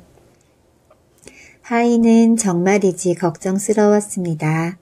이완의 아버지가 이 사실을 알게 되면 도련님을 제대로 돌보지 못해 일어난 사건에 대한 책임은 결국 자신이 져야 하기 때문입니다. 날이 어두워지자 이완의 아버지가 집으로 돌아왔습니다. 하이는 별 도리가 없었습니다. 대문을 열고 들어오는 이완의 아버지 앞으로 달려가 무릎을 꿇고 잘못을 빌기에 이르렀습니다. 어르신 용서해 주십시오. 무슨 일이 있기에 이러느냐. 실은 도련님이 어르신 방에 들어가 벼룩을 잡는다고 송곳으로 장판을 수도 없이 찔러대서 방바닥이 아주 흉하게 되었습니다. 하이는 주인이 크게 노하여 날벼락이라도 내리칠 것만 같아 가슴이 콩알만해지는 순간이었습니다. 그런데 이완의 아버지는 의외였습니다. 그래, 그 벼룩을 잡았느냐? 라고 묻는 것이었습니다. 이에 하인이 벼룩은 잡았다고 답하자 뜻밖의 말을 하는 것이었습니다. 벼룩을 잡았으면 됐다. 방바닥 위에 다시 깔면 되지만 한참 자라는 아이가 자신이 목적한 바를 이루지 못했다면 그것은 더욱 어린 가슴에 상처가 되는 일이니 벼룩만 잡았다면 그것으로 된 걸세. 주인의 이 말이 하인에게는 쉽게 이해가 되지 않았습니다. 하지만 큰 인물이 될 사람의 아버지는 역시 달랐던 것입니다. 이를테면 도량이 그만큼 넓었다는 얘기입니다.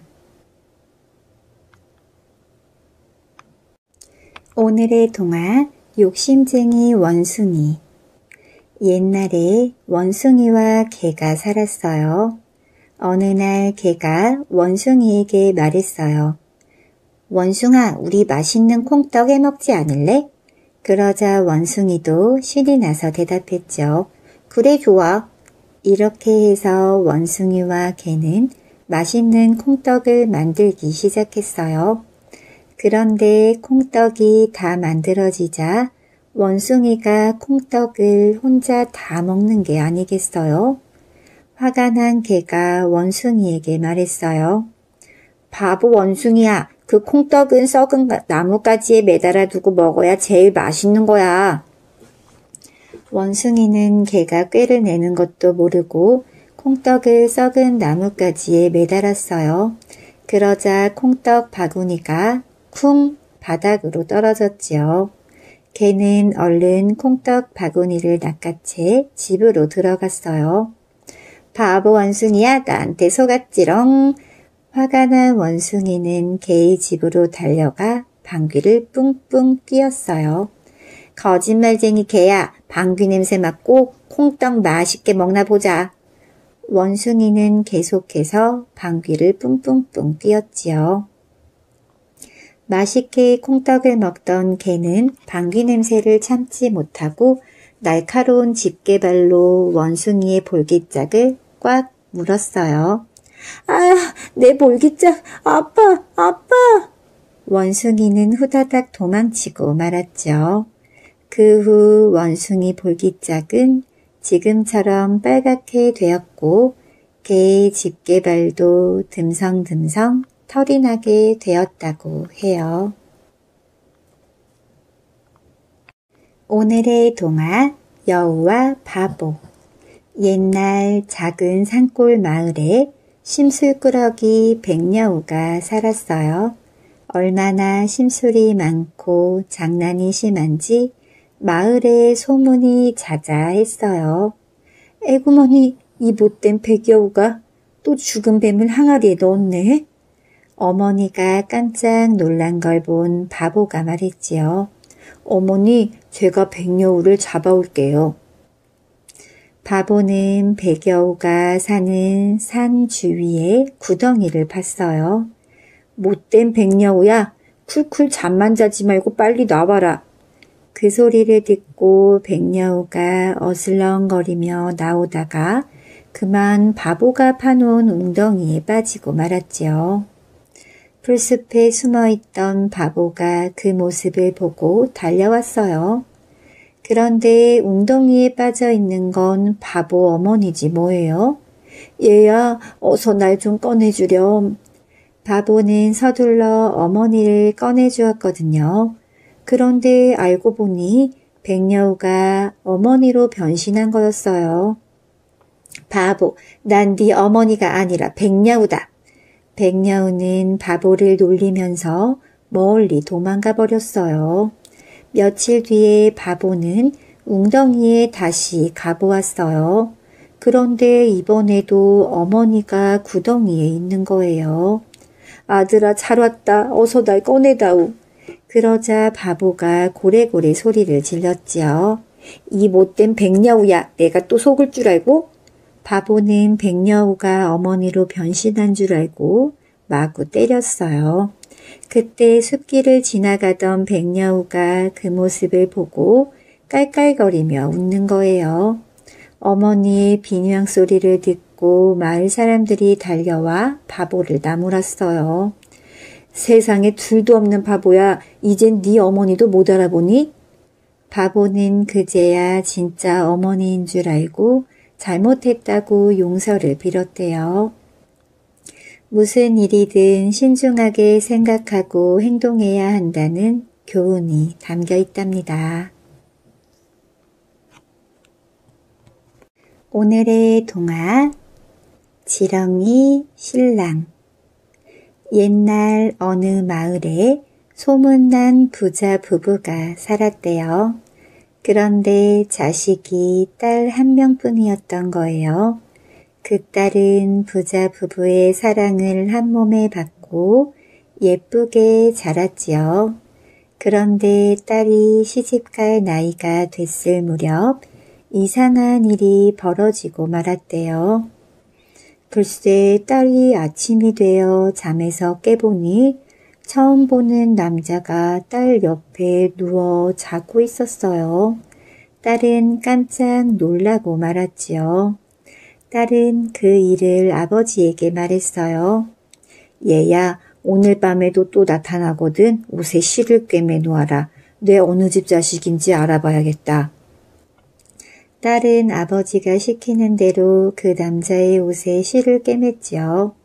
그런데 이튿날 새벽이 되자 그 남자가 어디로 사라지는 거예요.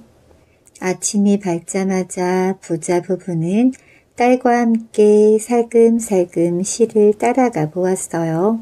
그런데 실이 북쪽 담장 아래에서 온데간데 없이 사라지고 없는 거예요. 이상하다. 실이 담장을 넘지도 않았는데 어디 갔지? 아버지, 실이 담장 밑 땅속으로 들어갔어요. 어이구, 정말 그렇구나. 부자는 서둘러 담장 밑을 파보았지요. 그런데 지렁이가 허리에 바늘을 꽂고 있지 뭐예요. 그날 이후 딸은 시름시름 앓기 시작했어요. 부자 부부도 할 말을 잃고 눈물만 흘렸지요. 내 딸 신랑이 지렁이라니 어쩌면 좋아. 그런데도 지렁이는 매일 밤 딸을 찾아왔어요.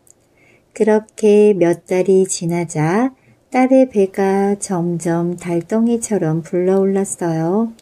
열 달이 지나고는 잘생긴 사내 아이를 낳았지요. 이 사내 아이는 씩씩한 젊은이로 자라서 후백제라는 나라를 세웠대요.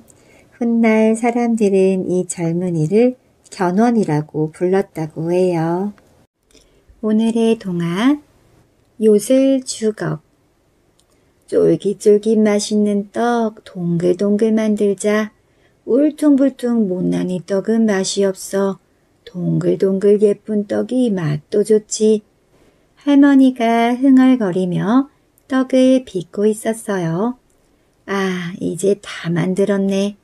바로 그 순간 마지막 떡 하나가 마루 아래로 또르르 굴러가지 뭐예요.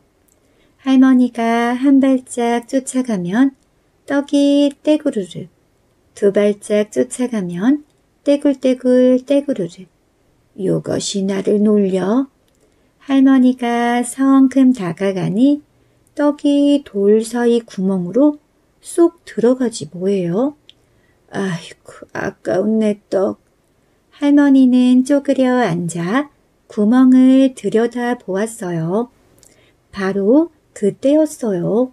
할머니 몸이 쑥 작아지더니 구멍 안으로 쏙 빨려 들어가지 뭐예요. 주먹만큼 작아진 할머니가 구멍 아래로 쿵. 아이고, 여기가 어디지? 내 떡은 어디로 간 거야? 할머니는 어리둥절해서 눈만 껌뻑껌뻑. 그때 머리 위로 누군가의 목소리가 들렸지요. 할머니 미안해요. 떡이 맛있어 보여서 제가 먹었답니다. 할머니는 깜짝 놀라 위를 올려다 보았어요. 에구머니나 사람처럼 생긴 바위가 말을 하네. 그때 어디선가 발자국 소리가 쿵, 쿵, 쿵. 바위가 할머니에게 속삭였어요. 빨리 내 뒤에 숨으세요. 할머니는 바들바들 떨면서 물었어요. 이게 무슨 소리니? 바위가 손가락을 입에 대고 소곤거렸지요. 쉿! 도깨비들이 오는 소리예요. 얼마 뒤 도깨비들이 바위 곁으로 다가와 코를 킁킁. 이상하다. 사람 냄새가 나는데. 그러자 바위가 화들짝 놀라 손사래를 쳤지요. 무슨 소리야? 여기는 나밖에 없어. 할머니는 바위 뒤에 숨어서 몸만 바들바들. 바위가 좀 이상한데? 먹을 걸 숨겨놓고 혼자 먹으려는 거야. 도깨비들은 코를 벌름거리며 이리 기리웃 저리 기웃. 찾았다. 도깨비 하나가 할머니를 번쩍 들어 올렸어요. 히히, 사람이야. 데려다 부려먹어야지. 바위가 도깨비들에게 부탁했어요. 할머니를 보내줘. 맛있는 떡을 준 착한 할머니야. 하지만 도깨비들은 껄껄 웃으며 고개를 저었지요. 안 돼. 우리가 얼마나 사람을 찾았는데. 도깨비들은 할머니를 데리고 배에 올랐어요. 할머니가 오들오들 떨며 물었지요. 도깨비들아, 나를 잡아먹으려고? 아니, 아니. 그럼 늙은 나를 데려가서 어쩌려는 거야? 밥을 해줘. 우리는 밥 짓는 게 너무 싫거든. 얼마 뒤 할머니는 도깨비 마을에 도착했어요. 할멈, 배가 고프니 어서 밥을 지어. 대장 도깨비가 커다란 솥에 물을 가득 붓더니 쌀한 톨을 톡. 자, 이 주걱으로 쉬지 말고 저. 할머니가 주걱으로 휙휙 젓자 어느새 솥 안에 밥이 한가득. 우와, 요술 주걱이네. 이 주걱으로 불쌍한 사람들에게 밥을 지어주면 좋으련만. 다음 날부터 할머니는 빨래하고 청소하고 밥을 지으며 도깨비들과 살았어요. 그러던 어느 날 도깨비들이 모두 낮잠이 들었어요. 지금 달아나야 해. 할머니는 살금살금 배에 올라 노를 저었지요. 그걸 안 도깨비들이 우르르 강가로 몰려왔어요. 할머니를 잡아라! 도깨비들은 강가에서 발을 동동 굴렀어요. 배가 못 뜨게 물을 다 마셔버리자. 도깨비들이 입을 쩍 벌리고 후르르 강물을 마시기 시작했어요. 어머, 이를 어째요? 강물은 점점 줄어들어 어느새 바닥이 드러났지요. 아이고, 잡혀가기 전에 실컷 춤이나 추자. 할머니는 주걱을 들고 어깨를 덩실덩실, 엉덩이를 실룩실룩 춤을 추었어요. 할머니의 춤이 얼마나 웃기는지 도깨비들도 웃음을 터뜨렸지요. 그 바람에 도깨비의 입에서 강물이 콸콸 쏟아져 나왔어요. 할머니는 이때다 싶어 다시 돌을 열심히 저었답니다. 할머니는 강을 건너 바위에게 달려갔어요. 바위야, 나를 밖으로 보내주렴. 걱정 마세요. 맛있는 떡을 얻어먹었으니 저도 할머니를 도와드려야지요. 바위가 할머니를 번쩍 들어서 구멍 위로 올려주었어요. 할머니 잘 가세요. 구멍 밖으로 나오자 할머니 몸은 쑥쑥 커졌지요. 다음 날 할머니는 가마솥에 쌀 한 톨을 넣고 요술 주걱을 휘휘 저었어요. 배고픈 사람들 모두 이리로 오시오. 따끈따끈하고 맛있는 밥이 여기 있다오. 사람들이 우르르 몰려와 길게 줄을 섰어요. 그 뒤로 할머니는 불쌍한 사람들에게 날마다 맛있는 밥을 지어주었대요.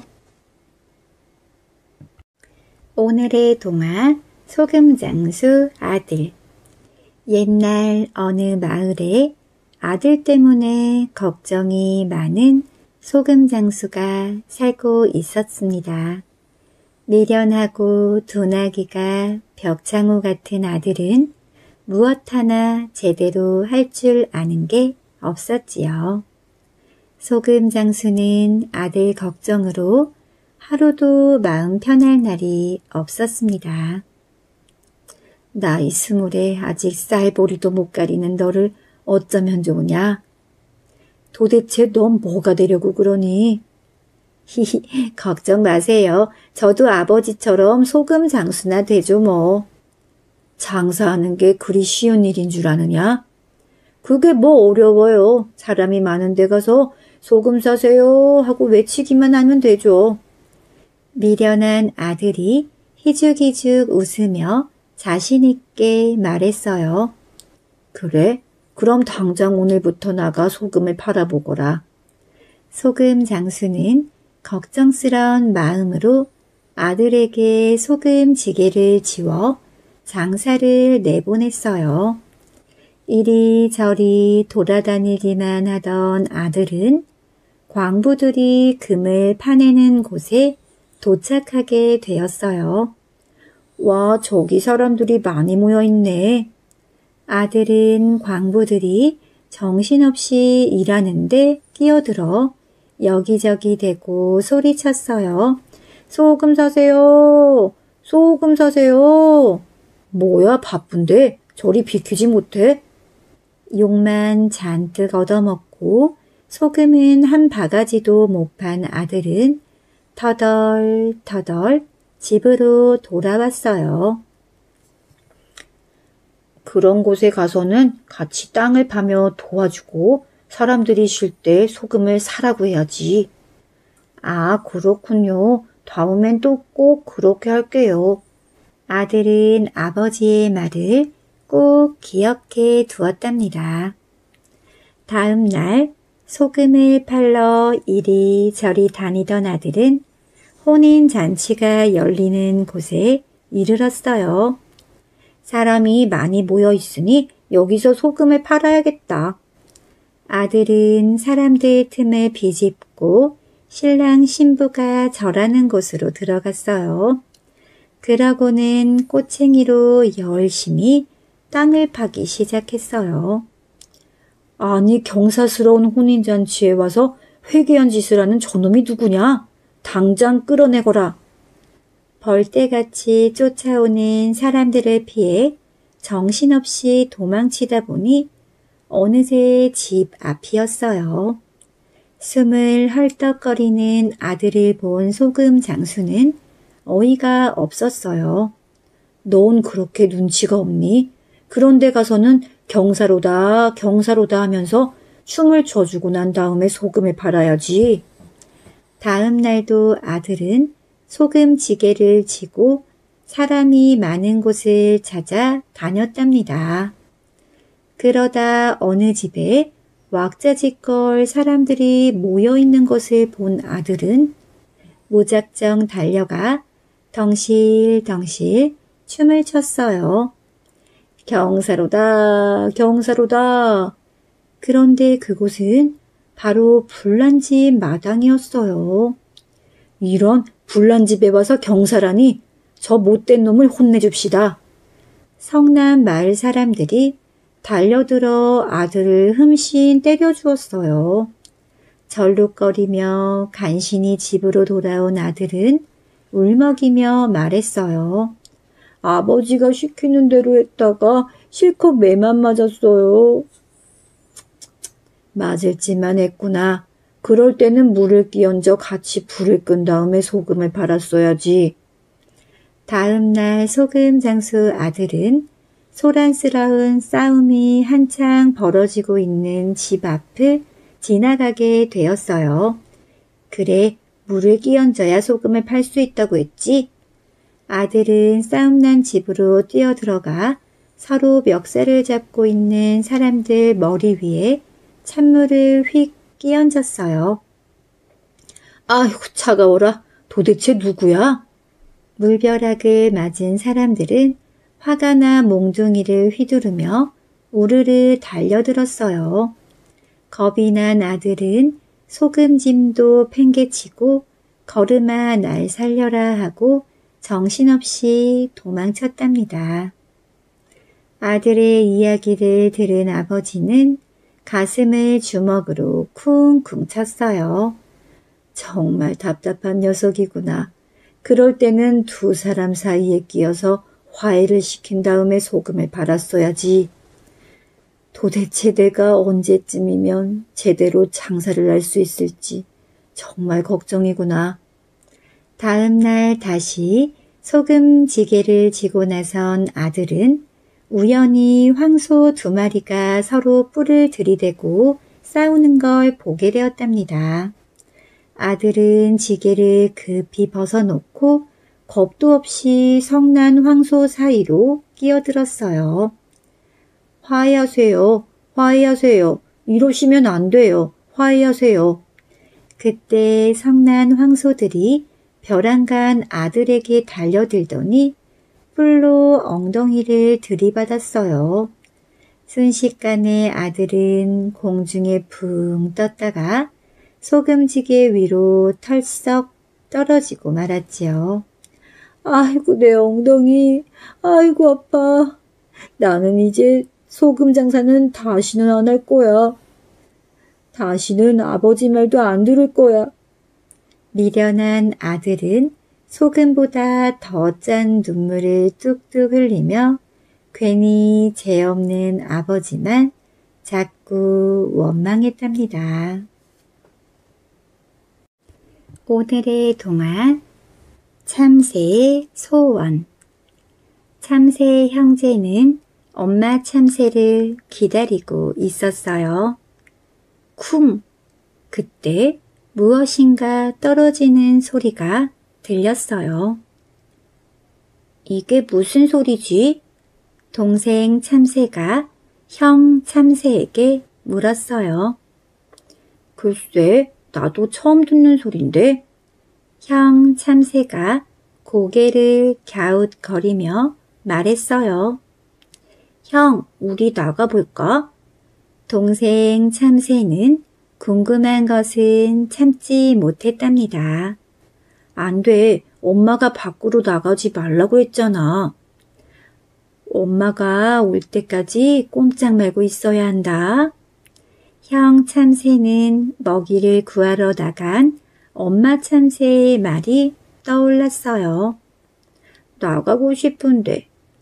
동생 참새가 말했어요. 그래도 조금만 참아. 엄마가 나가지 말라고 했잖아. 형 참새가 동생 참새를 달래주었어요. 하지만 형 참새도 궁금하기는 마찬가지였어요. 형, 나무가 쓰러진 것은 아닐까? 동생 참새가 눈을 동그랗게 뜨고 말했어요. 참새 형제들이 있는 곳은 나무 위에 있는 둥지거든요. 그건 아니야. 왜? 나무가 쓰러졌다면 우리도 땅에 떨어졌을 거야. 형 참새가 말했어요. 동생 참새가 고개를 끄덕였어요. 그럼 나무가 쓰러진 것은 아니겠네. 당연하지. 엄마는 튼튼한 나무의 둥지를 만들었다고 하셨어. 형, 하늘이 무너진 것은 아닐까? 하늘이 무너졌다고? 응, 파란 하늘이 쿵 하고 떨어진 것은 아닐까? 그건 아니야. 고개를 들어봐. 저기 파란 하늘이 아직도 있잖아. 형 참새는 아는 것도 참 많아요. 동생 참새는 형 참새가 아주 믿음직스러웠답니다. 형, 사냥꾼이 총을 쏜 것은 아닐까? 사냥꾼이 총을 쏘았다고? 동생 참새의 말에 형 참새가 깜짝 놀라며 말했어요. 응, 만약에 사냥꾼이 총을 쏘았다면. 안 돼! 형 참새와 동생 참새가 동시에 소리쳤어요. 그렇다면 엄마는? 엄마가 다친 것은 아닐까? 동생 참새의 눈에 눈물이 고였어요. 형, 우리 밖으로 나가보자. 안 돼. 엄마가 밖으로 나가지 말라고 했잖아. 그래도 동생 참새가 울먹이는 목소리로 말했어요. 그래도 안 돼. 형 참새도 속으로는 무척이나 나가고 싶었어요. 하지만 엄마와 했던 약속을 깨뜨릴 수는 없었답니다. 그렇다면 나 혼자서라도 나가볼 거야. 동생 참새가 갑자기 둥지를 박차고 날아갔어요. 형 참새는 깜짝 놀랐어요. 안 돼, 가지 마.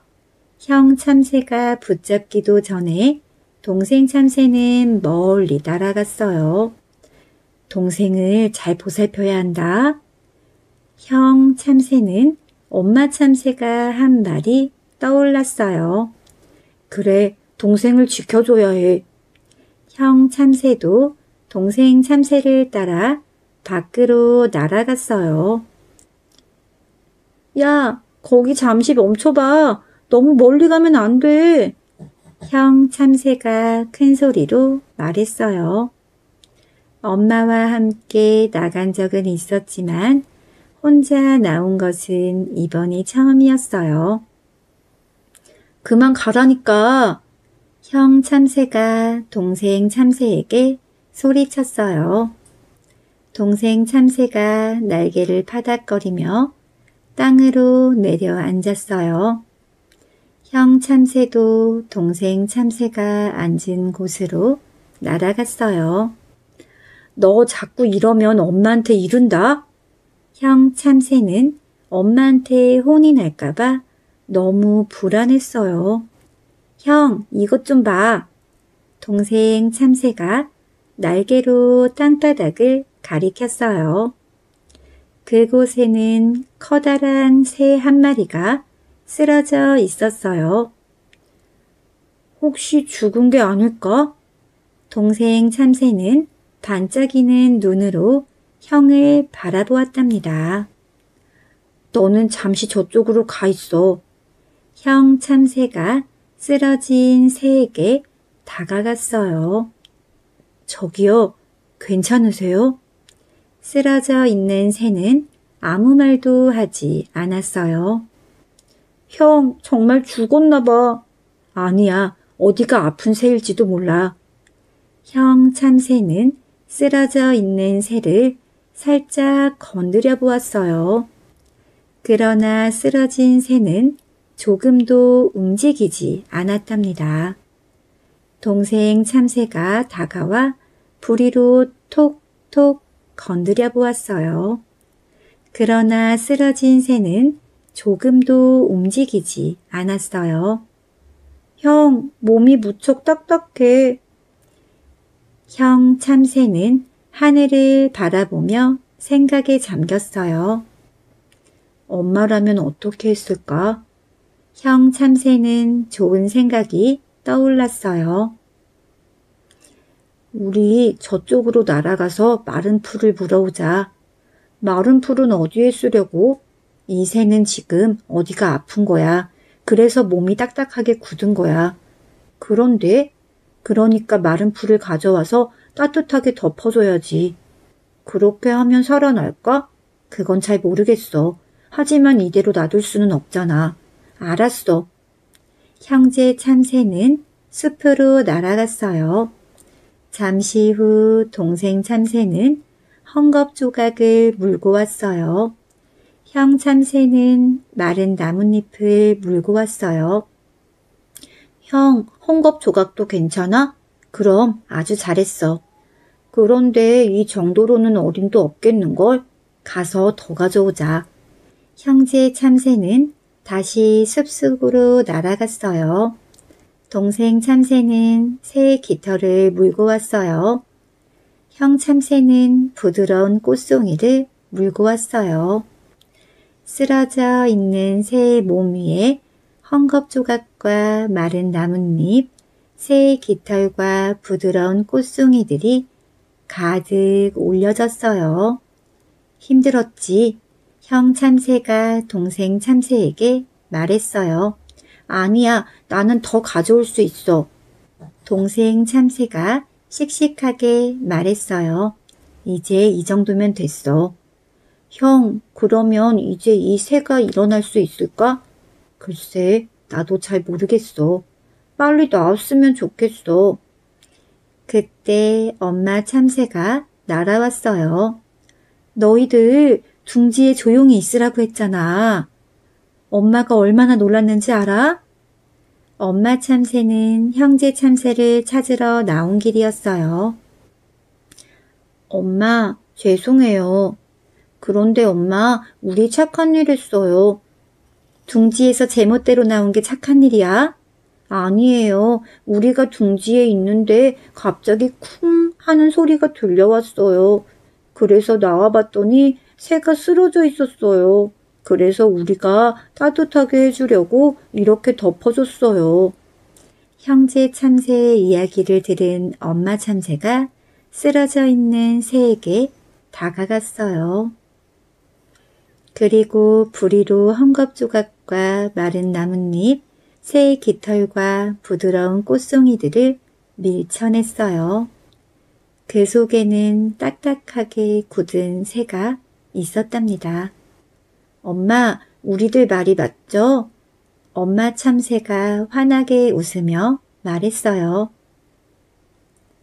이건 아픈 새가 아니야.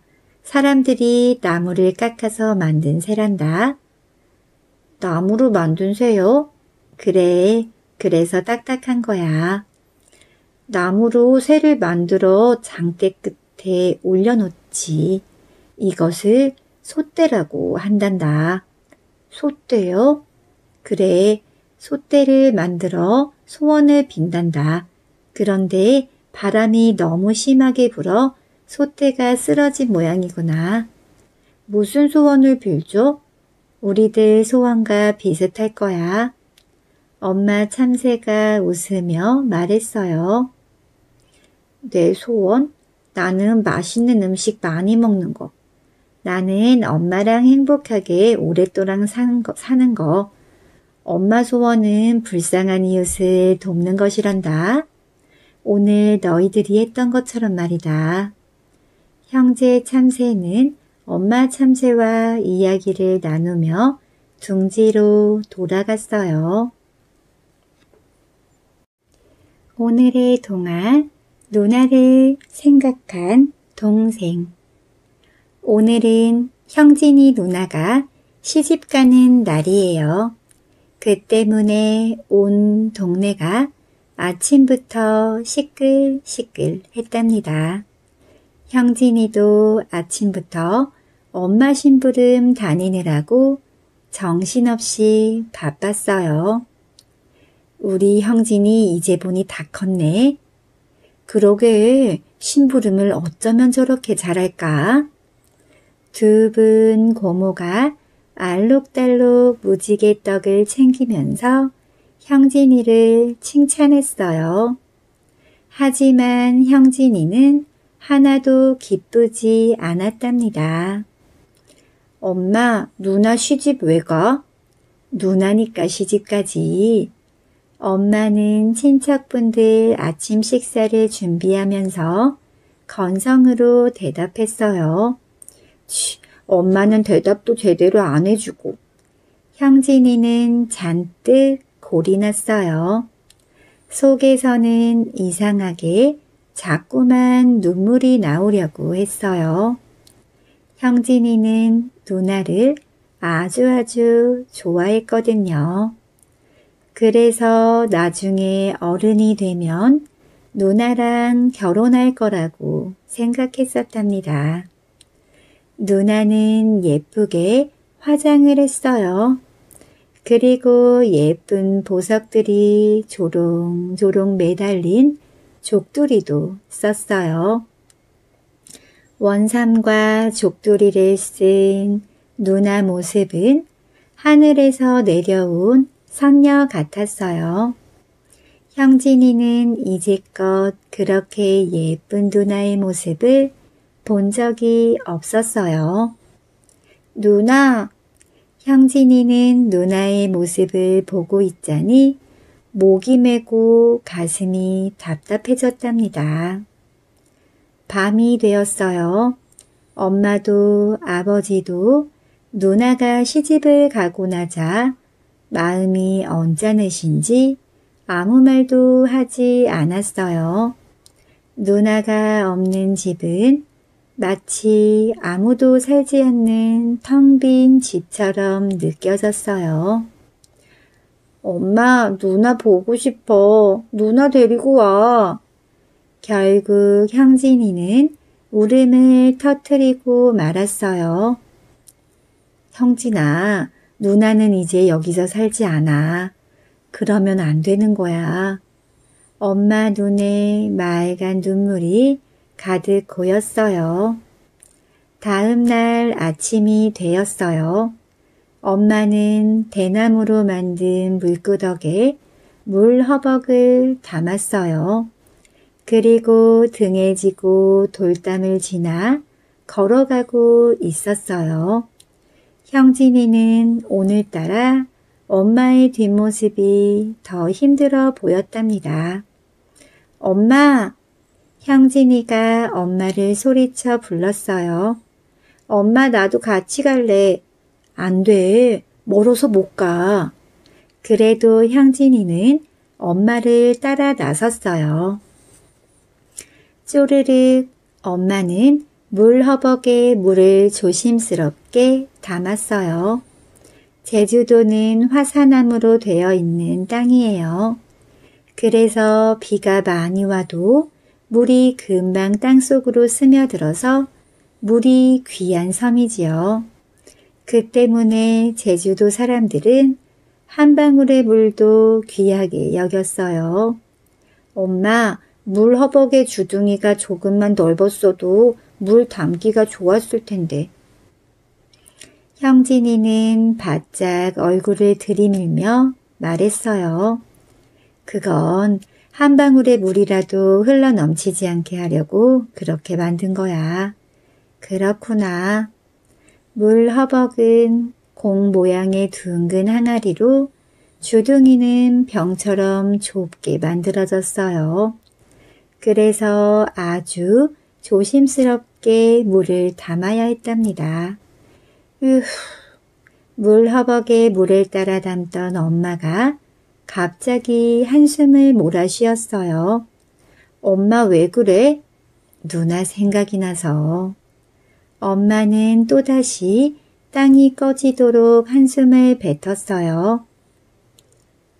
몸이 약하고 힘도 없는 누나가 이 무거운 물허벅을 어떻게 지고 다닐지. 물허벅은 질그릇으로 만들어졌어요. 물이 가득 담긴 물허벅을 등에 지고 다니기는 여간 힘든 일이 아니었지요. 그래서 금방 시집간 새댁이 물허벅을 지고 나르는 모습을 보고 시집살이를 할지 안 할지를 결정하기도 했어요. 엄마, 내가 한번 지고 갈게. 형진이가 등을 내밀고 뒤돌아서며 말했어요. 원, 사는 녀석이 별걸 다 하려들어. 엄마는 형진이가 내민 등을 세게 때리며 형진이를 밀어냈어요. 누나가 시집 간 지 며칠이 지난 어느 날 깜깜한 밤이었어요. 형진이는 윗동네로 시집 간 누나가 보고 싶어서 견딜 수가 없었답니다. 모두 잠들면 누나 집에 몰래 가봐야지. 형진이는 누나를 생각하며 별을 세고 있었어요. 그때 까만 밤하늘에서 별똥별 하나가 길게 꼬리를 끌며 떨어졌어요. 오늘 우리 누나 만날 수 있게 도와주세요. 형진이는 간절히 기도했지요. 깜깜한 밤에 혼자서 윗동네로 가는 형진이는 무척이나 무서웠어요. 낮에 우람하게 서 있던 나무들은 자꾸만 제 혼자 춤을 추며 무섭게 모습이 변하는 것만 같았어요. 마징가 쇠돌이 무쇠로 만든 사람. 형진이는 큰 소리로 노랫말을 따라하면서 걷 고 또 걸었답니다. 하지만 무서움은 쉽게 사라지지 않았어요. 괜히 왔어. 낮에 올걸. 형진이는 되돌아가려고 돌아섰어요.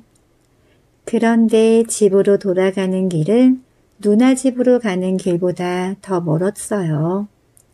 하나, 둘, 셋. 깜깜한 밤에 숫자 세는 소리가 들렸어요. 무슨 소리지? 누나 집에 거의 다 왔는데 자꾸만 들리는 숫자 세는 소리에 형진이 뒷목덜미가 쭈뼛해졌어요. 형진이는 눈을 크게 뜨고 소리 나는 쪽을 바라보았답니다. 이리저리 왔다 갔다 하는 검은 물체가 보였어요. 커다란 물어벅을 등에 지고 왔다 갔다 하는 사람이 보였지요. 형진이는 숨을 죽이고 크게 뜬 눈으로 뚫어지도록 물허벅을 쥐고 있는 사람을 쳐다보았답니다. 누나, 형진이는 너무 놀라서 숨이 멎는 줄 알았어요. 이렇게 깜깜한 밤에 누나가 무거운 물허벅을 등에 지고 기웃뚱거리며 걷고 있었어요. 매일 밤 누나는 물허벅을 등에 지고 다니는 연습을 하고 있었던 거예요. 형진이는 누나가 너무나 가여웠어요. 저놈의 물허벅만 없으면 형진이는 물 허벅만 없으면 누나가 그렇게 고생하지 않아도 된다는 생각이 들었어요. 옳지. 형진이는 빨리 누나가 잠자러 들어가길 기다렸어요. 누가 물어벅을 깨버렸네. 새벽에 일찍 일어난 누나는 깜짝 놀랐어요. 아버지, 물러벅을 등에 지어 보셨어요? 느닷없는 형진이 말에 아버지는 의아한 표정을 지었어요. 갑자기 아침부터 무슨 물어벅 타령이고? 형진이는 누나가 며칠이라도 무거운 물허벅을 짊어지지 않는다는 생각에 한박 웃음을 지었답니다. 오늘의 동화 할머니와 다듬이 조용한 산 속에 검은 바위가 있었어요. 방석처럼 생긴 바위였지요. 바위 옆에는 늙은 소나무가 그늘을 펴고 있었어요. 아, 너무 심심해. 나는 언제까지 여기 있어야 한담? 바위는 날마다 한숨을 쉬었어요. 누구에게나 기회는 온단다. 좀 더 기다려보렴. 소나무가 굽은 허리를 펴며 말했어요. 벌써 100년도 넘게 기다렸는걸. 난 분명 아무짝에도 쓸데없는 돌덩이일 뿐이라고. 반드시 너를 필요로 하는 곳이 있을 거야. 정말 그럴까? 그래, 꿈을 버리면 안 돼. 산에 봄이 왔어요. 진달래가 피고 나비가 날아다녔지요. 산은 약초와 산나물을 캐려는 사람들로 북적거렸어요. 오, 여기 훌륭한 방석이 있군. 좀 쉬어가야지. 약초를 캐는 망태기 할아버지였어요. 검은 바위에 걸터 앉은 할아버지는 망태기를 내려놓고 땀을 닦았어요. 소나무는 살랑살랑 바람을 일으켜 할아버지의 이마를 씻어주었지요. 허허 편안하군. 그냥 두고 가기가 아까운걸. 검은 바위는 귀를 쫑긋 세웠어요. 바위는 날마다 할아버지를 기다렸어요. 할아버지는 이제 다시 오지 않으려나 봐. 바위는 눈물을 글썽이며 말했어요. 아니야, 반드시 널 찾아올 거야. 소나무는 바위를 위로해 주었어요. 하얗게 눈 쌓인 겨울이 지나가고 진달래가 피는 봄이 왔어요. 또다시 산속은 사람들로 북적거렸어요. 하지만 할아버지의 모습은 보이지 않았답니다. 할아버지는 날 아주 잊었나 봐. 바위는 한숨을 쉬었어요. 소나무는 그런 바위를 또 위로했지요. 그때 갑자기 웅성거리는 소리가 들렸어요. 저벅저벅 사람들의 발자국 소리도 들렸지요. 무슨 일일까? 바위는 궁금했어요. 바로 그 망태기 할아버지였어요. 곰처럼 덩치가 큰 청년도 함께 왔어요. 이 바위일세 지고 갈 수 있겠는가? 해보지요. 할아버지와 청년이 바위를 양쪽에서 잡았어요. 끙, 으라차. 바위는 핑그르르 어지럼증이 났지요.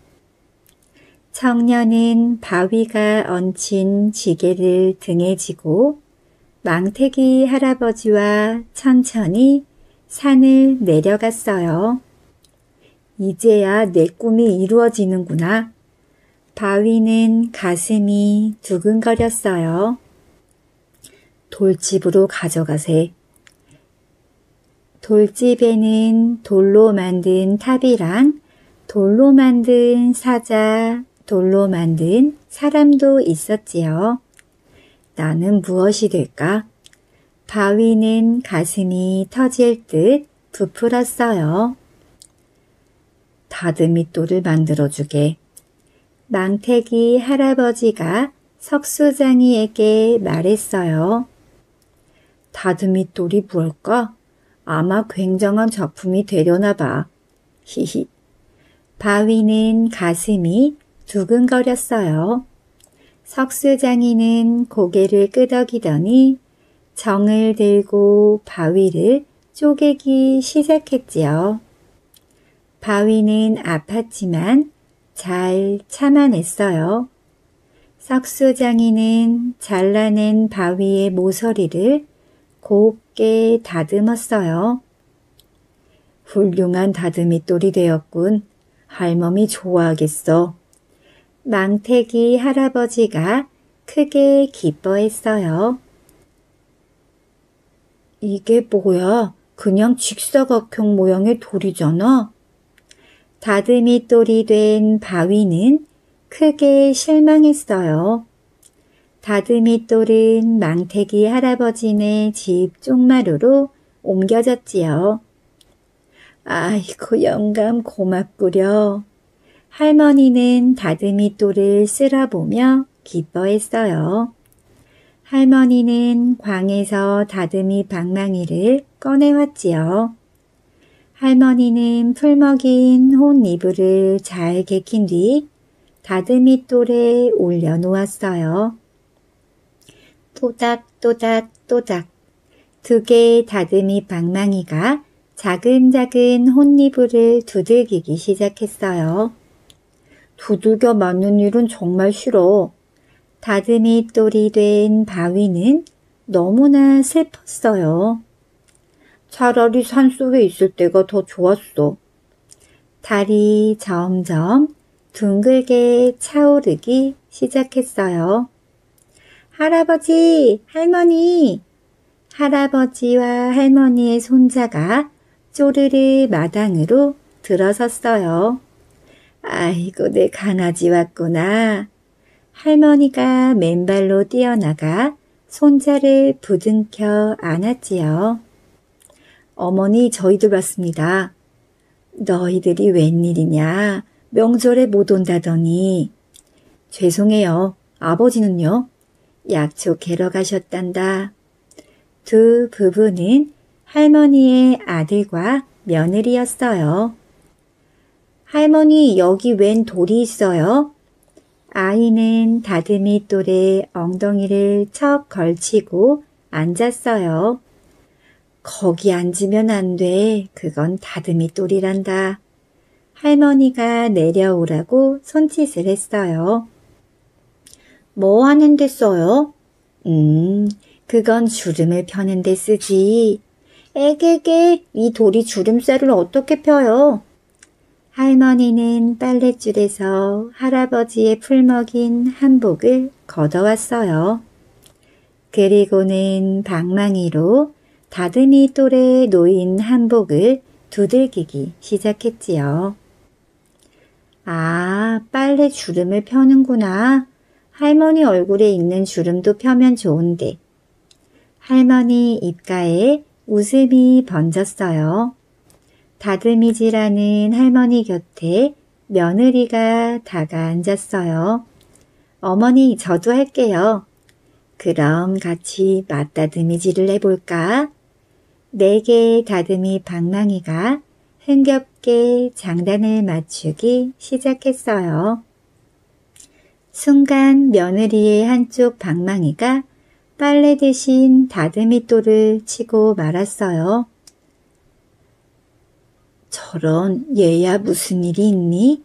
내 마음이 불편해 보이는구나. 괜찮아요, 어머니. 저녁이 되어 가족들이 빙 둘러 앉았어요. 시골에 와서 살겠다고? 정말이냐? 할머니는 놀라서 목소리를 높였어요. 사업이 안 돼서 그만. 아들은 목소리가 점점 작아졌어요. 시골로 올 걸 생각하니 너무 속이 상해요. 며느리는 마침내 울음을 터뜨렸어요. 아가, 다 정부치기 나름이란다. 할머니는 며느리를 감싸 안았지요.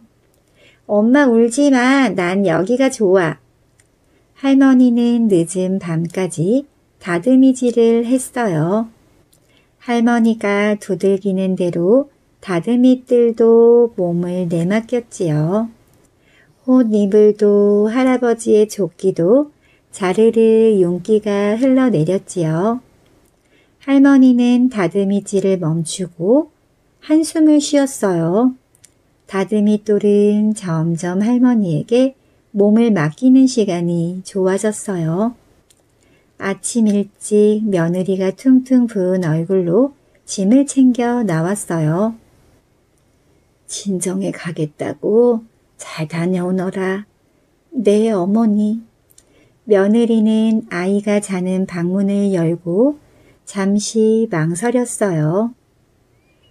그리고 조용히 대문 밖을 나섰답니다. 할머니는 눈물을 닦고 또 다듬이돌 앞에 앉았어요. 다듬이질 소리는 마당을 지나 울 밖을 훌쩍 뛰어넘더니 동구 밖으로 흘러갔어요. 오늘도 다듬이돌 위에서 할아버지의 옷 주름이 펴지고 있어요. 누군가 살인문을 열고 들어섰어요. 하지만 할머니의 다듬이 소리는 그칠 줄 몰랐어요. 엄마 어디 갔다 와? 잠에서 깬 아이의 목소리에 햇살이 반짝이고 있었답니다. 오늘의 동화 이야기 작가 아이 페페 페페는 참 볼품없는 아이였어요.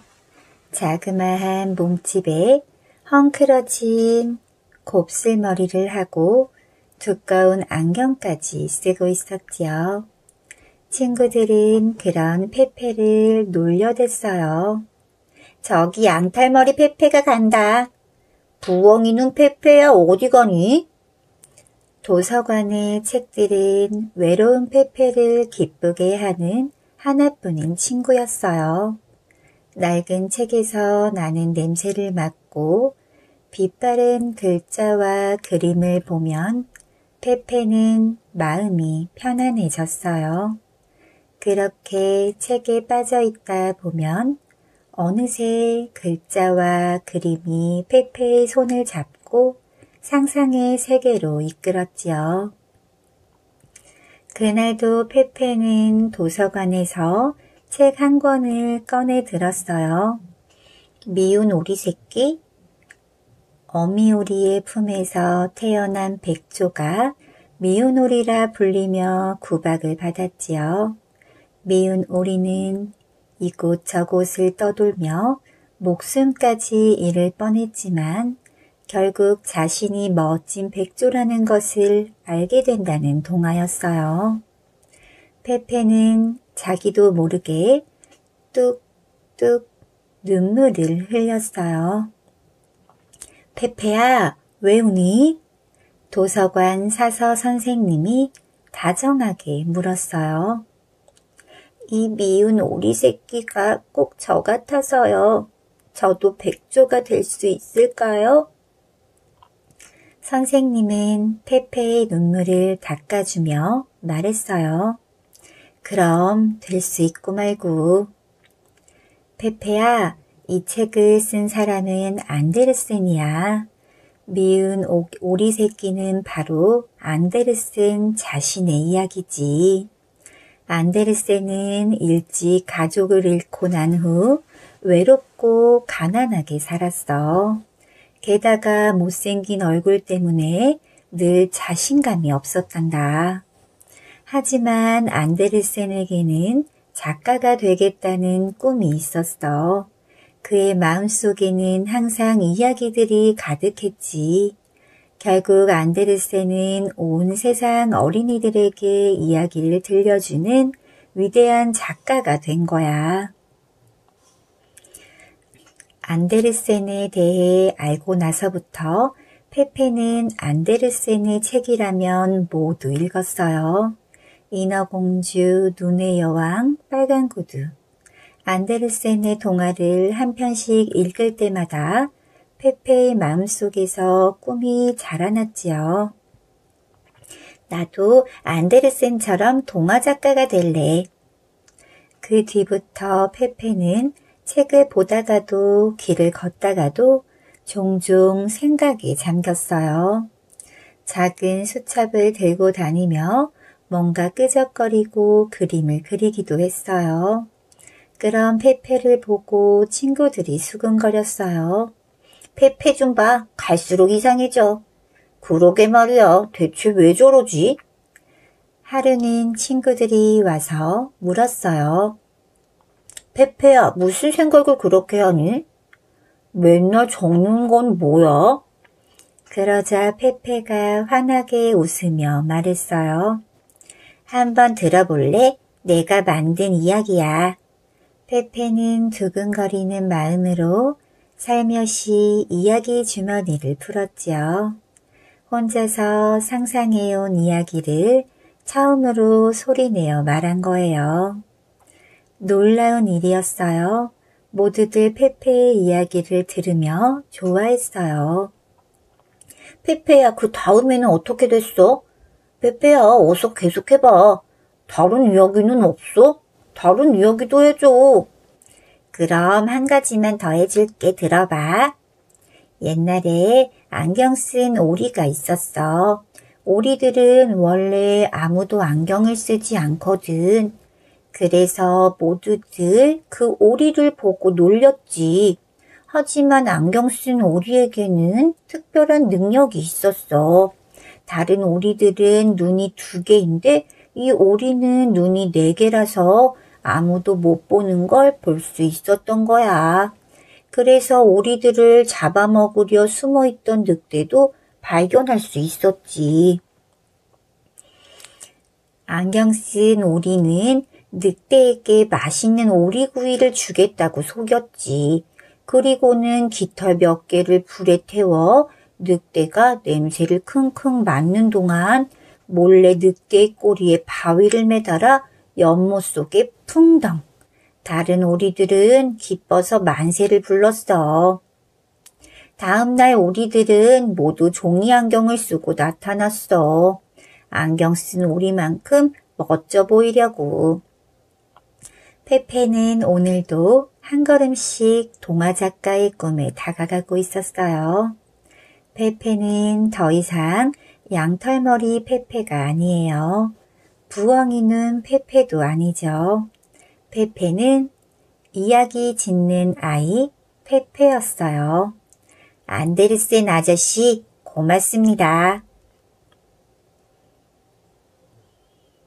오늘의 동화 용궁으로 간 한 소년 옛날 옛적 땅끝에 있는 바닷가 마을에 한 소년이 할머니와 함께 살고 있었어요. 소년은 효심이 깊어 사람들의 칭찬이 자자했지요. 게다가 재미난 이야기를 어찌나 잘하는지 소년이 한바탕 이야기 주머니를 풀어놓으면 사람들은 밤이 깊 고 날이 새는 줄도 몰랐대요. 어느 날 소년은 쪽배를 타고 고기잡이를 나갔어요. 출렁출렁 바닷물에 휙 그물을 던져놓고 하품 한 번, 기지개 한 번, 하품 한 번, 눈물 찔끔. 이제 그물을 건져 볼까나? 어영차, 어영차. 그런데 그 순간 그물이 소년을 휙 잡아당기는 거예요. 으악! 바다에 빠진 소년은 정신을 잃었어요. 그리고는 꿈을 꾸었죠. 바다가 두 쪽으로 갈라지며 새로운 세상이 열리는 꿈을요. 시간이 얼마나 흘렀을까요? 스르륵 눈을 뜬 소녀는 깜짝 놀랐어요. 금빛, 은빛 비늘을 가진 물고기들이 따닥따닥 조개장단에 맞춰 덩실덩실 춤을 추고 커다란 집게발을 가진 꽃게들이 한상 가득히 진수성찬을 내왔지요. 그곳은 용궁이었어요. 난 용궁에서 제일 가는 맥이 대신이야. 너를 이곳까지 데려온 것은 용왕님의 병 때문이지. 용왕님은 몇 해 전부터 시름시름 앓고 있었대요. 쪽집게 거북 의원이 말하기를 용왕님의 병을 낫게 할 방법은 이야기를 잘하는 말동무뿐이라는 거예요. 소녀는 용왕님의 흰 머리를 보자 할머니가 생각났어요. 그래서 어떻게든 기운이 나게 해드리고 싶었죠. 용왕님, 우리 마을에는 방귀대장 방서방이 살아요. 앉아서도 뿡, 서서도 뿡, 누워서도 뿡뿡. 하루는 방서방이 낮잠을 자는데 도둑이 들어왔지요. 그때 갑자기 뿌웅 도둑은 천장이 무너지는 줄 알고 도망치다가 방귀 소리에 놀란 암소의 뒷발질에 채여 그만 기절해 버렸답니다. 용왕님은 무릎을 탁 치며 웃기 시작했어요. 날마다 소년의 이야기를 들은 용왕님은 얼굴에 웃음꽃이 피어 건강해졌어요. 그런데 소년의 얼굴은 갈수록 어두워지는 거예요. 용왕님이 그 이유를 묻자 소년이 말했어요. 할머니가 걱정돼요. 얼굴이라도 보고 올 테니 열밤만 육지에 다녀오게 해주세요. 용왕님은 소년이 안쓰러워 그러라고 했어요. 소년이 바닷가 마을로 돌아오자 할머니가 맨발로 뛰어나왔지요. 아이고 우리 손자 살아 있었구나. 소년은 할머니한테 어리광도 부리며 행복해했어요. 그러는 동안 어느새 아홉 밤이 지났네요. 아, 내일이면 용궁으로 돌아가야 하는데 할머니 혼자 두고 어떻게 간담? 드디어 열밤째 되는 날 문어병사가 소년을 데리러 왔어요.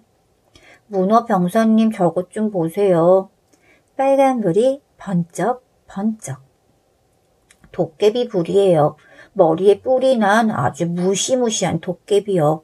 제가 할머니를 안심시켜 드리고 올 테니 기다려 주세요. 문어병사는 처음 듣는 도깨비 얘기에 덜컥 겁이 났지요. 그, 그럼 오늘은 그냥 가고 내일 밤에 보자꾸나.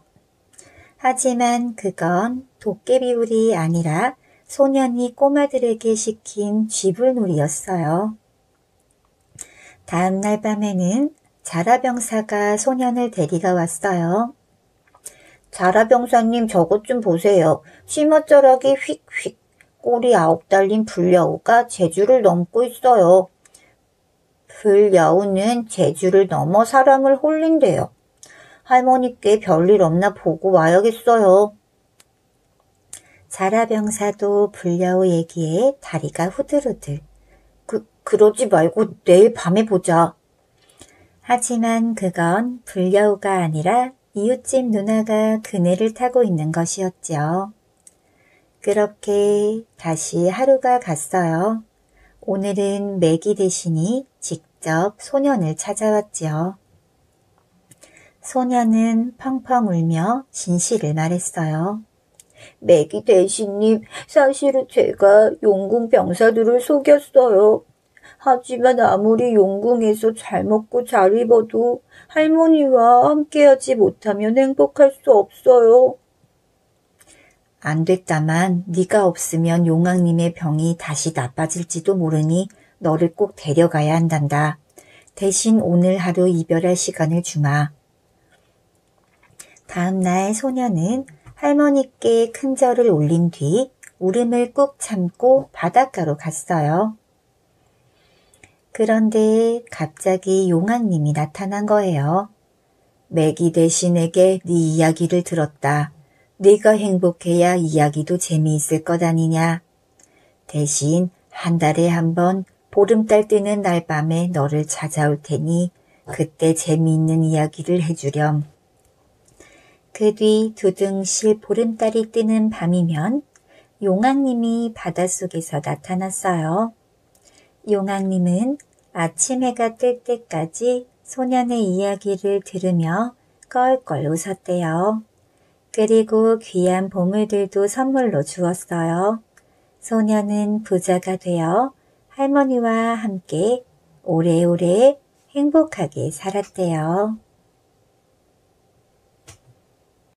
오늘의 동화 선생님의 선물 햇님 반의 꼬마 생쥐들이 시끌시끌 찍찍 와글와글 찍찍 신나게 놀고 있었어요.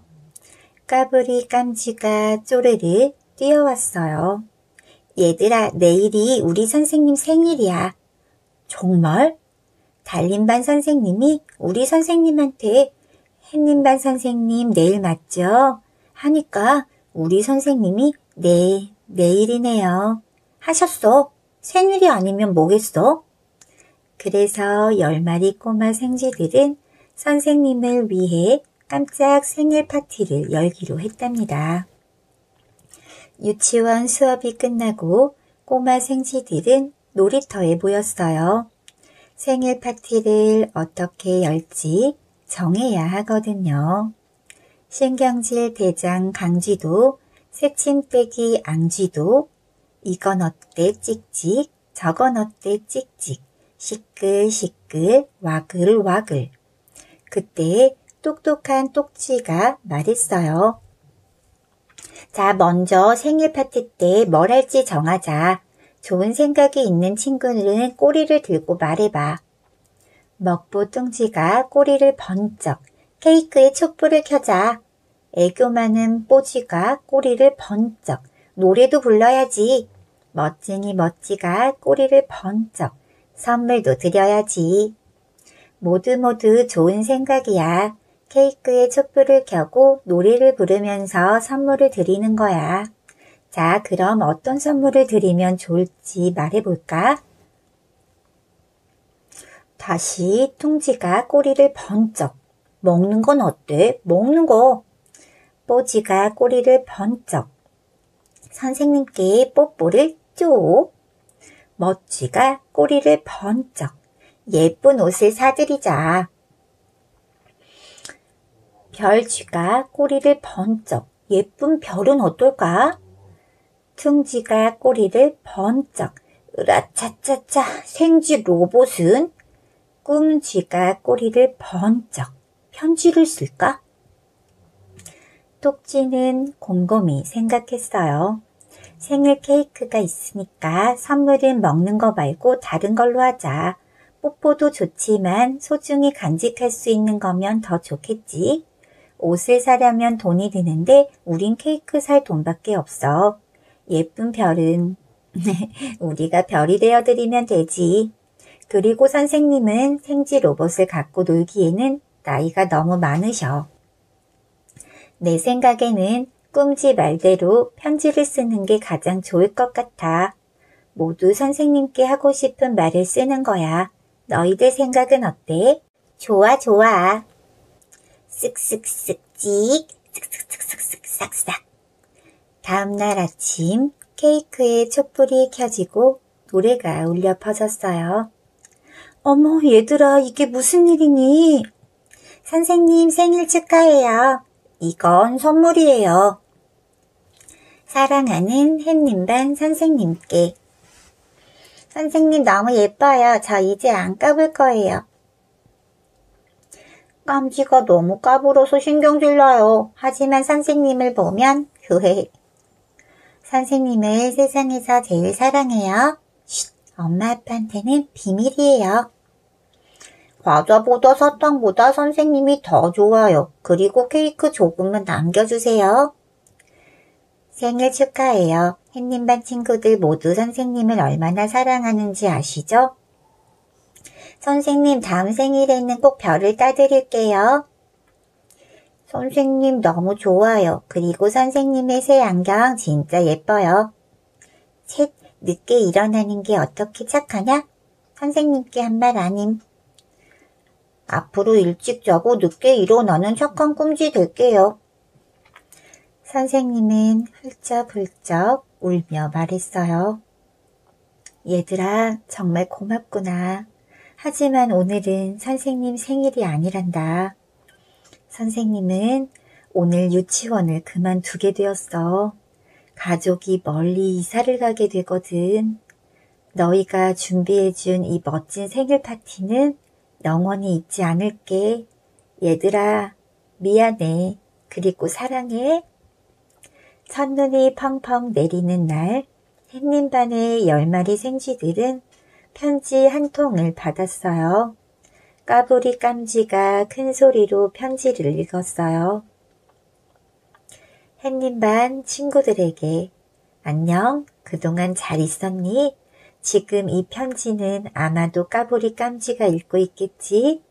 강쥐, 앙쥐, 똑쥐, 뚱쥐 모두 건강하지?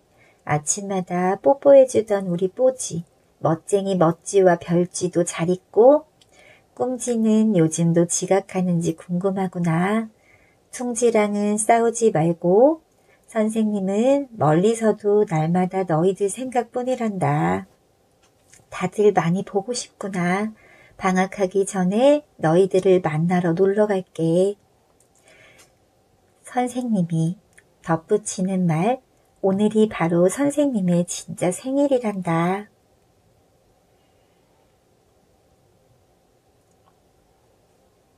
오늘의 동안 우체부의 꽃이 아침 8시 우체부 곰 아저씨가 우체국에 나왔어요. 곰 아저씨는 해 뜨는 마을에 배달할 편지들을 가방에 가득 넣고 빨간 자전거에 올라탔어요. 우체국에서 해 뜨는 마을로 가는 길은 집 한 채, 나무 한 그루 없이 흙먼지만 폴폴 날리는 벌판이에요. 멀기는 얼마나 먼지 자전거로 쌩쌩 달려도 30분이나 가야 하지요. 아, 난 정말 이 길이 싫어. 그래도 곰 아저씨는 비가 오는 날에도 눈이 오는 날에도 햇볕이 쨍쨍 내리쬐는 날에도 자전거로 달리고 또 달렸어요. 어느새 해 뜨는 마을에 봄이 찾아왔어요.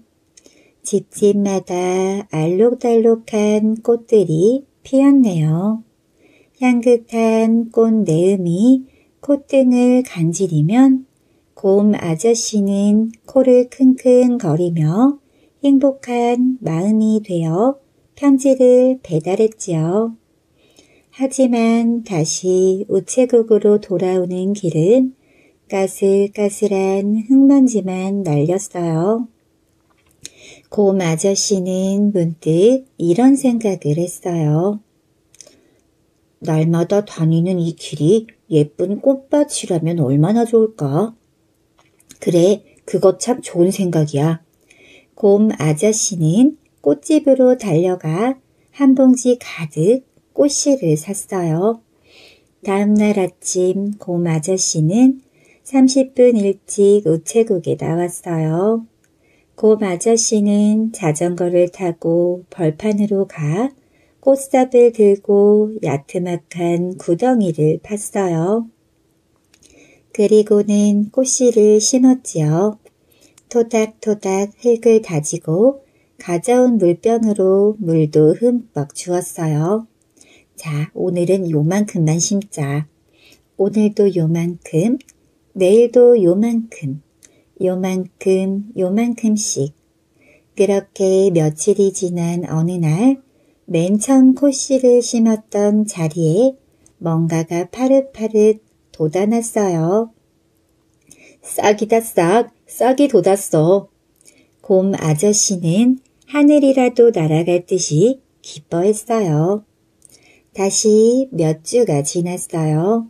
싹이 점점 자라서 잎을 내고 줄기가 굵어지더니 드디어 꽃을 피웠어요.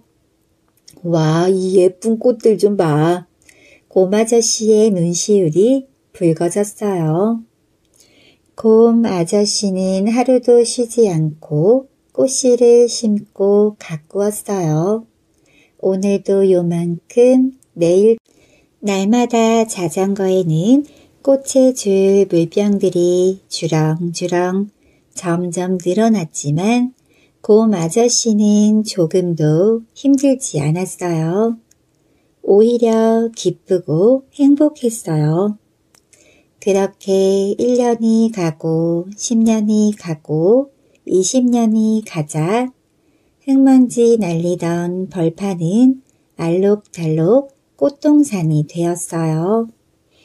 오늘은 곰 할아버지가 우체부를 그만두는 날이에요. 해 뜨는 마을의 동물들은 꽃동산을 만들어낸 곰 할아버지를 존경했어요.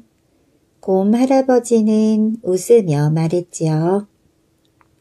편지를 나르는 일은 내게 일의 보람을 가져다 주었고 꽃씨를 나르는 일은 내게 삶의 행복을 가져다 주었지요.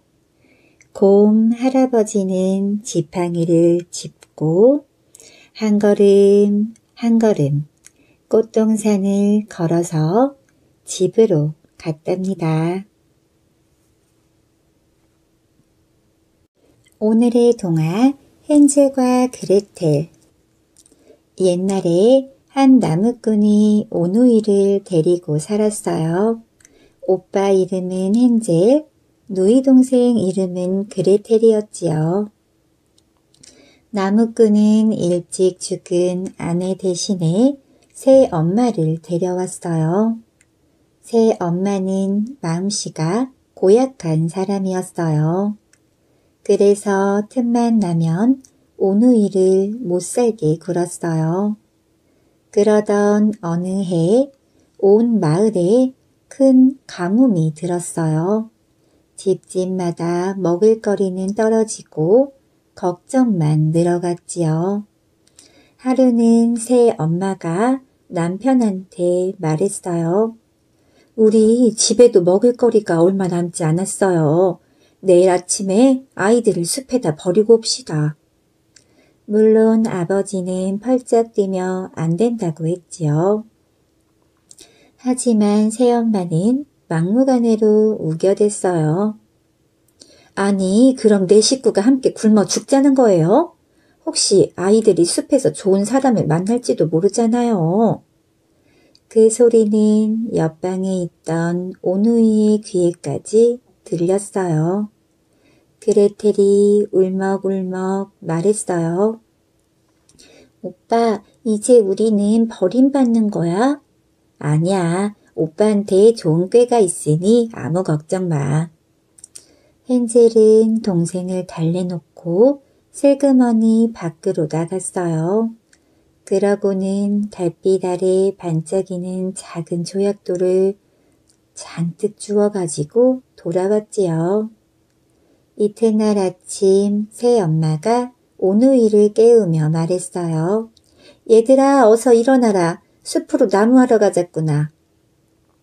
새 엄마는 오누이한테 빵 한 덩이씩을 주었어요.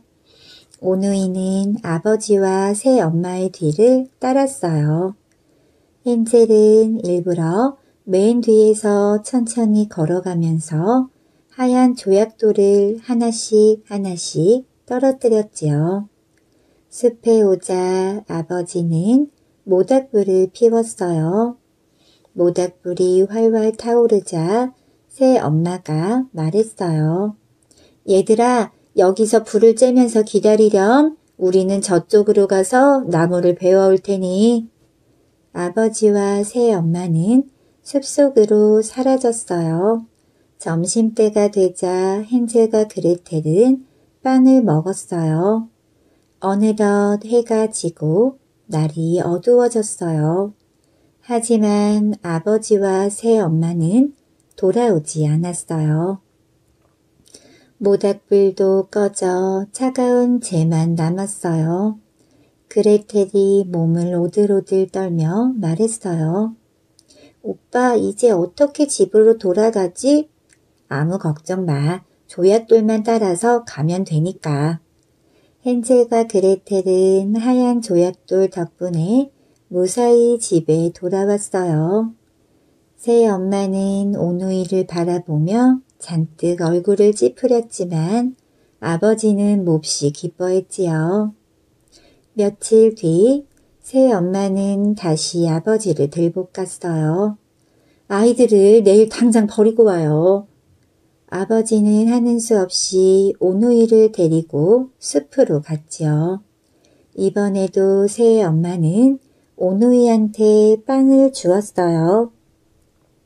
오누이는 아버지와 새 엄마의 뒤를 따랐어요. 헨젤은 일부러 맨 뒤에서 천천히 걸어가면서 빵 부스러기를 조금씩 조금씩 떨어뜨렸지요. 미처 조약돌을 준비하지 못했거든요. 아버지와 새 엄마는 헨젤과 그레텔을 버려두고 숲으로 사라졌어요. 오누이는 빵 한 덩이를 사이좋게 나누어 먹었지요. 어느덧 해가 지고 날이 어두워졌어요. 오빠, 이제 어떻게 집으로 돌아가지? 아무 걱정 마. 빵 부스러기만 따라서 가면 되니까. 그런데 빵 부스러기가 하나도 보이지 않았어요. 산새들이 죄다 쪼아먹어 버렸던 거예요. 길을 잃은 오누이는 숲속을 이리저리 헤맸어요. 하지만 아무리 찾아도 길은 보이지 않았어요. 한참을 걷던 오누이 앞에 작은 집 하나가 나타났어요. 오빠, 맛있는 과자로 만든 집이야. 정말 벽은 빵, 지붕은 케이크, 창문은 사탕이잖아. 배고픈 오누이는 정신없이 그 집을 뜯어 먹었어요. 그때 사납게 생긴 마녀 할멈이 나타났어요. 요 녀석들 남의 집을 함부로 뜯어먹다니. 마녀는 헨젤을 쇠창살이 달린 우리에 가두었어요. 그러고는 그레텔한테 소리쳤어요. 맛있는 요리를 잔뜩 만들어 네 오빠한테 줘라. 통통하게 살이 찌면 잡아먹을 테니까. 덕분에 헨젤은 날마다 배불리 먹을 수 있었지요. 마녀는 아침마다 우리로 다가와 헨젤한테 말했어요. 손가락을 내밀어 보아라. 얼마나 살이 쪘나 보게. 마녀는 눈이 워낙 나빠서 직접 만져봐야 알 수 있었거든요. 그때마다 헨젤은 가느다란 뼈다귀를 창살 틈으로 내밀었어요. 아니 왜 이렇게 살이 안 찌는 거야? 마녀는 투덜거리며 돌아서곤 했답니다. 한 달이 지나자 마녀가 화를 내며 소리쳤어요. 더는 못 참겠다. 그냥 잡아먹어야지. 그레텔, 오븐이 알맞게 달구어졌는지 살펴보아라. 그레텔은 일부러 어리둥절한 신용을 하며 물었어요. 오븐이 뜨거운지는 어떻게 알 수 있어요? 이런 바보 같은 이라고 내가 하는 걸 똑똑히 봐. 마녀는 오븐에다 얼굴을 가까이 들이밀었어요. 이때 그레텔이 마녀를 오븐 속으로 확 밀어넣었지요. 마녀는 뜨거운 오븐 속에서 새까맣게 타 죽고 말았어요. 그레텔은 재빨리 우리를 열고 헨젤을 꺼내 주었지요. 오누이는 마녀의 보석을 잔뜩 챙겨서 집으로 돌아왔어요. 아버지가 오누이를 끌어안고 눈물을 흘리며 말했어요. 얘들아, 이 못난 아버지를 용서해다오. 새 엄마는 병들어 죽었으니 아무 걱정 말고. 헨젤과 그레텔은 아버지와 함께 행복하게 잘 살았대요. 그리고 마녀의 보석을 팔아서 큰 부자가 되었답니다. 오늘의 동화 천사와 삼형제 옛날 어느 시골에 가난한 한 삼형제가 살았어요. 삼형제의 집에는 사과나무 몇 그루밖에 없었지요.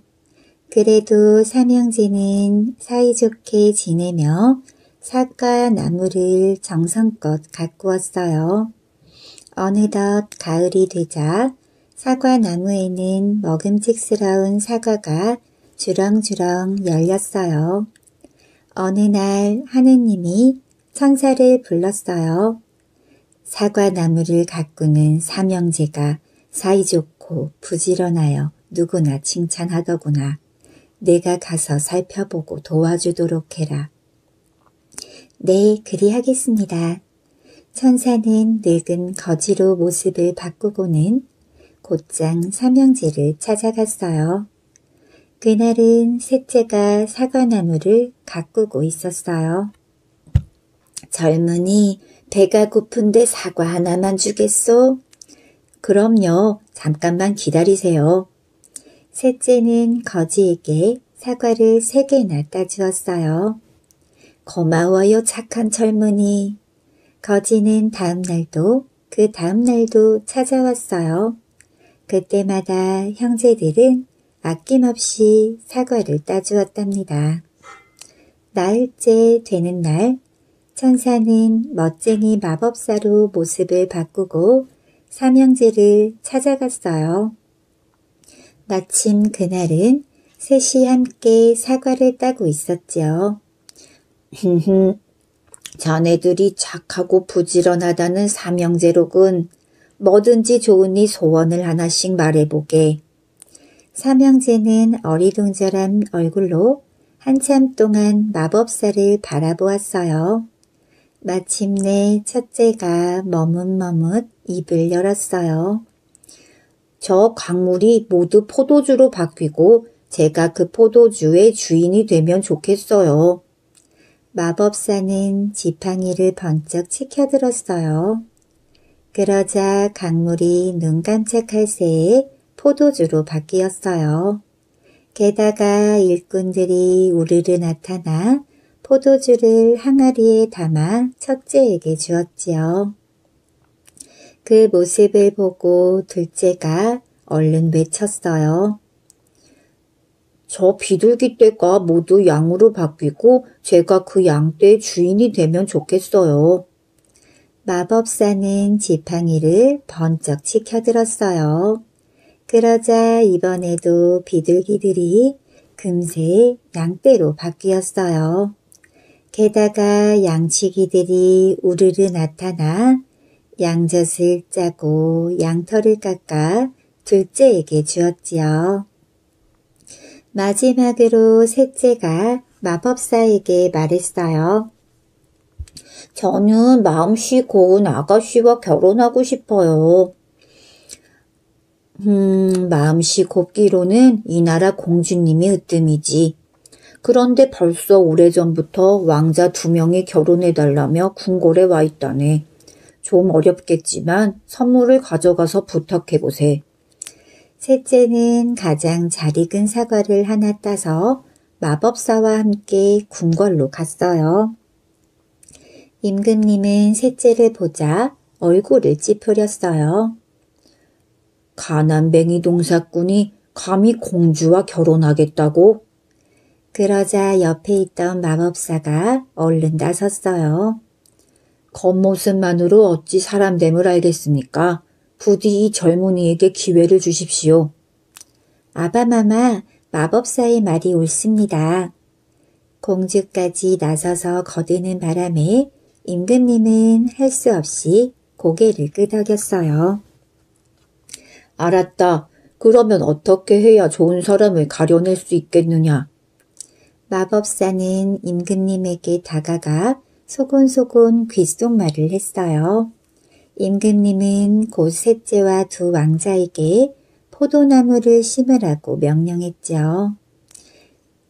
왕자인 나더러 포도나무를 심으라고? 두 왕자는 투덜투덜 하면서 포도나무를 건성건성 심었어요. 하지만 셋째는 흙을 꼭꼭 누르고 물을 솔솔 뿌려가며 정성껏 심었답니다.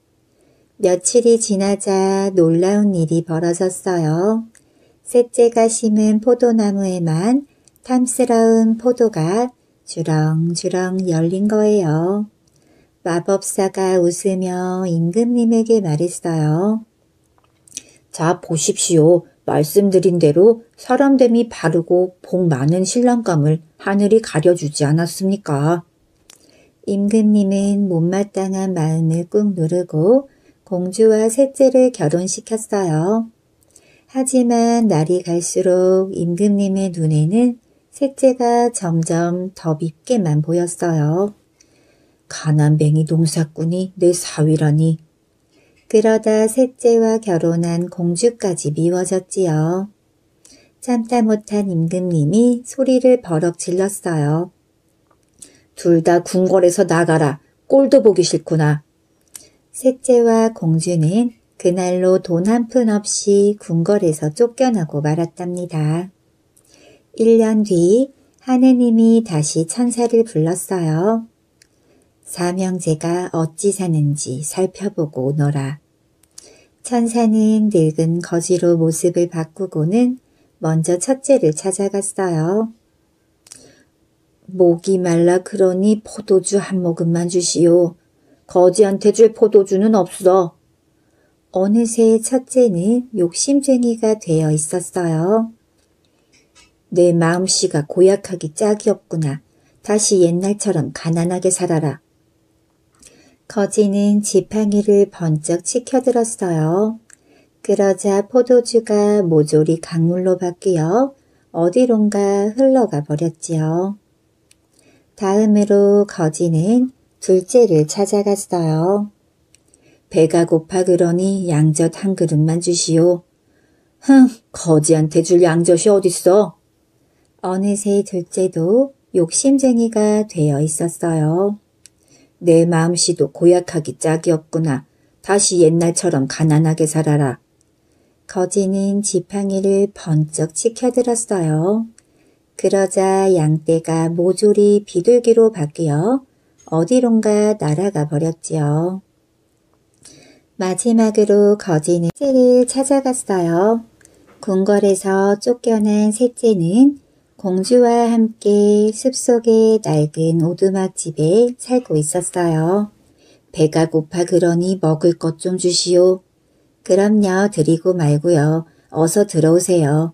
셋째는 거지를 식탁 앞에 앉혀놓고 공주를 잠깐 밖으로 불러냈어요. 여보, 먹을 거라고는 빵 한 덩어리 뿐이지만 배고픈 저분께 드리도록 합시다. 마음씨 고운 공주도 고개를 끄덕였어요. 그런데 이게 어찌 된 걸까요?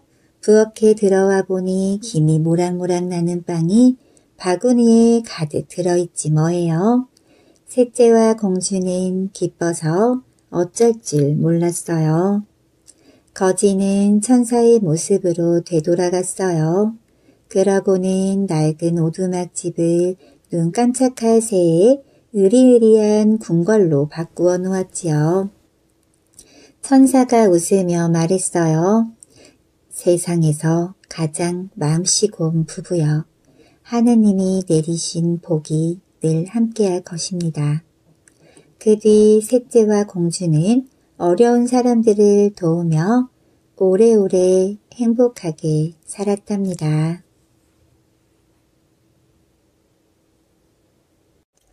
오늘의 동화 세 마리 아기 돼지와 늑대 옛날에 아기 돼지 세 자매가 살았어요.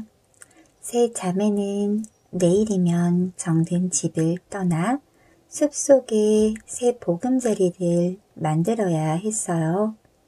엄마 돼지는 걱정이 이만저만이 아니었지요. 너희들도 이웃집 아기 돼지 삼형제 이야기 들었지? 못된 늑대가 와도 걱정 없게 튼튼한 집을 지어야 해. 그날 밤 아기 돼지 세 자매는 어떻게 하면 튼튼한 집을 지을까 곰곰이 생각했어요. 첫째 돼지가 말했어요. 이웃집 돼지 삼형제는 각자 다른 집을 지은 게 잘못이었어. 둘째 돼지도 말했지요. 그래, 셋이 힘을 합치면 더 튼튼한 집을 지을 수 있을 거야. 셋째 돼지가 맞장구를 쳤어요. 언니들 말이 맞아. 다음날 아침 세 자매는 집을 나섰어요. 엄마 돼지는 눈물이 나와 앞치마로 눈물을 훔쳤지요.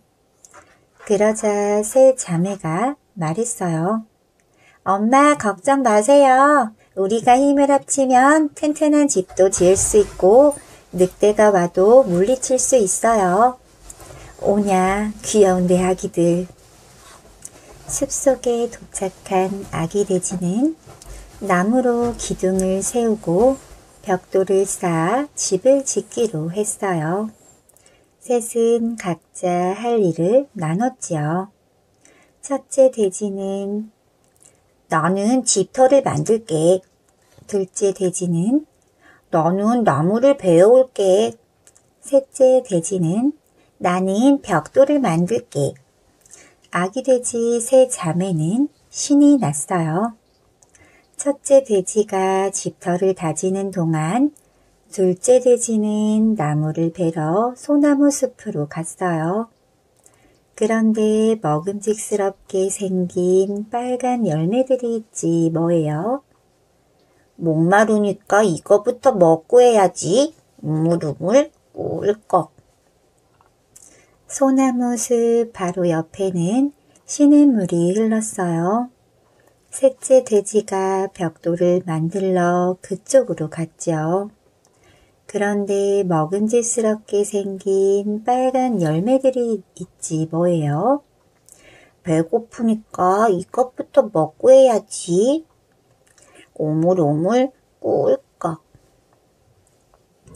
빨간 열매를 먹은 둘째 돼지와 셋째 돼지는 스르르 눈을 감더니 드르렁 쿨쿨. 빨간 열매는 잠 오는 열매였거든요. 아까부터 숨어서 지켜보던 늑대가 다가왔어요. 흐하하, 오랜만에 돼지를 잡아먹겠군. 늑대가 셋째 돼지를 번쩍 들어 올린 순간, 둘째야! 셋째야! 저 멀리 첫째 돼지가 나타났어요. 늑대는 후다닥 몸을 숨겼지요. 첫째 돼지는 둘째 돼지와 셋째 돼지를 깨웠어요. 일은 안 하고 잠만 자면 어떡해. 둘째 돼지와 셋째 돼지가 똑같이 이러는 거예요. 저 빨간 열매를 먹었을 뿐인데. 첫째 돼지는 빨간 열매의 냄새를 맡아보았어요. 그러다 열매 옆에 꾹꾹 찍혀 있는 늑대의 발자국을 보았지요. 늑대다. 이제 우리가 힘을 합쳐야 할 때야. 아기 돼지 세 자매는 열심히 나무를 베고 부지런히 벽돌을 만들었어요. 셋이서 힘을 합치니 뭐든지 척척. 집터에 튼튼한 나무 기둥을 세우자 나란히 나란히 벽돌벽을 쌓자 반듯반듯 문과 반짝반짝 창문, 뾰족뾰족 빨간 지붕도 만들자. 드디어 예쁘고 튼튼한 집이 다 지어졌어요. 하지만 아기 돼지 세 자매는 아직 할 일이 남아 있었어요. 새 자매를 노리는 늑대가 있잖아요. 새 자매는 창문을 활짝 열고 화덕에 냄비를 넣고 국을 끓였어요. 고소한 냄새야 멀리 멀리 퍼져라. 이 냄새는 바로 아기 돼지 새 자매의 집에서 나는 거로군. 셋이 힘을 합쳐 튼튼한 집을 지었으니 콧김도 입김도 소용없겠지. 늑대는 어떻게 집 안으로 들어갈까 곰곰이 생각했어요. 전에 아기 돼지 삼형제 집에 굴뚝으로 들어가려다 혼이 났던 것을 떠올리니 늑대는 아무래도 문을 부수고 들어가는 게 낫겠다 싶었어요. 자, 간다. 꽈당. 아이고, 문이 열려 있었잖아. 그런데 집 안이 왜 이렇게 깜깜할까요? 그때 갑자기 이런 소리가 들려왔어요. 내가 발목을 묶을게. 나는 손목을 묶을게. 너는 빨간 열매를 먹일게. 늑대는 의자에 꽁꽁 묶였어요. 이 못된 늑대를 우물에 빠뜨릴까 낭떠러지에 밀까? 오, 제발 그러지 마. 네가 우리 돼지들을 못 살게 구니까 그러지. 너무 배가 고파서 그런 거야. 나처럼 늙은 늑대는 사냥을 잘 못하거든. 그러고 보니 늑대의 이빨은 흔들흔들, 털은 푸석푸석 아주 가여워 보였어요. 결국 세 자매가 어떻게 했냐면요. 늑대와 힘을 합쳐 농장을 만들었지요. 첫째 돼지는 고소한 옥수수를 기르고 둘째 돼지는 달콤한 고구마를 기르고 셋째 돼지는 새콤한 사과를 길렀어요. 늑대는 무얼 했냐고요? 옥수수 밭과 고구마 밭에서 쓱쓱 잡초를 뽑고 사과나무에서 쏙쏙 벌레를 잡아 닭을 길렀지요. 늑대는 고기를 먹어야 하니까 말이에요. 새 자매와 늑대의 식탁에는 날마다 먹을 것이 가득했어요. 와, 힘을 합치니까 참 좋다. 아기 돼지 새 자매와 늑대는 오랫동안 행복하게 살았답니다.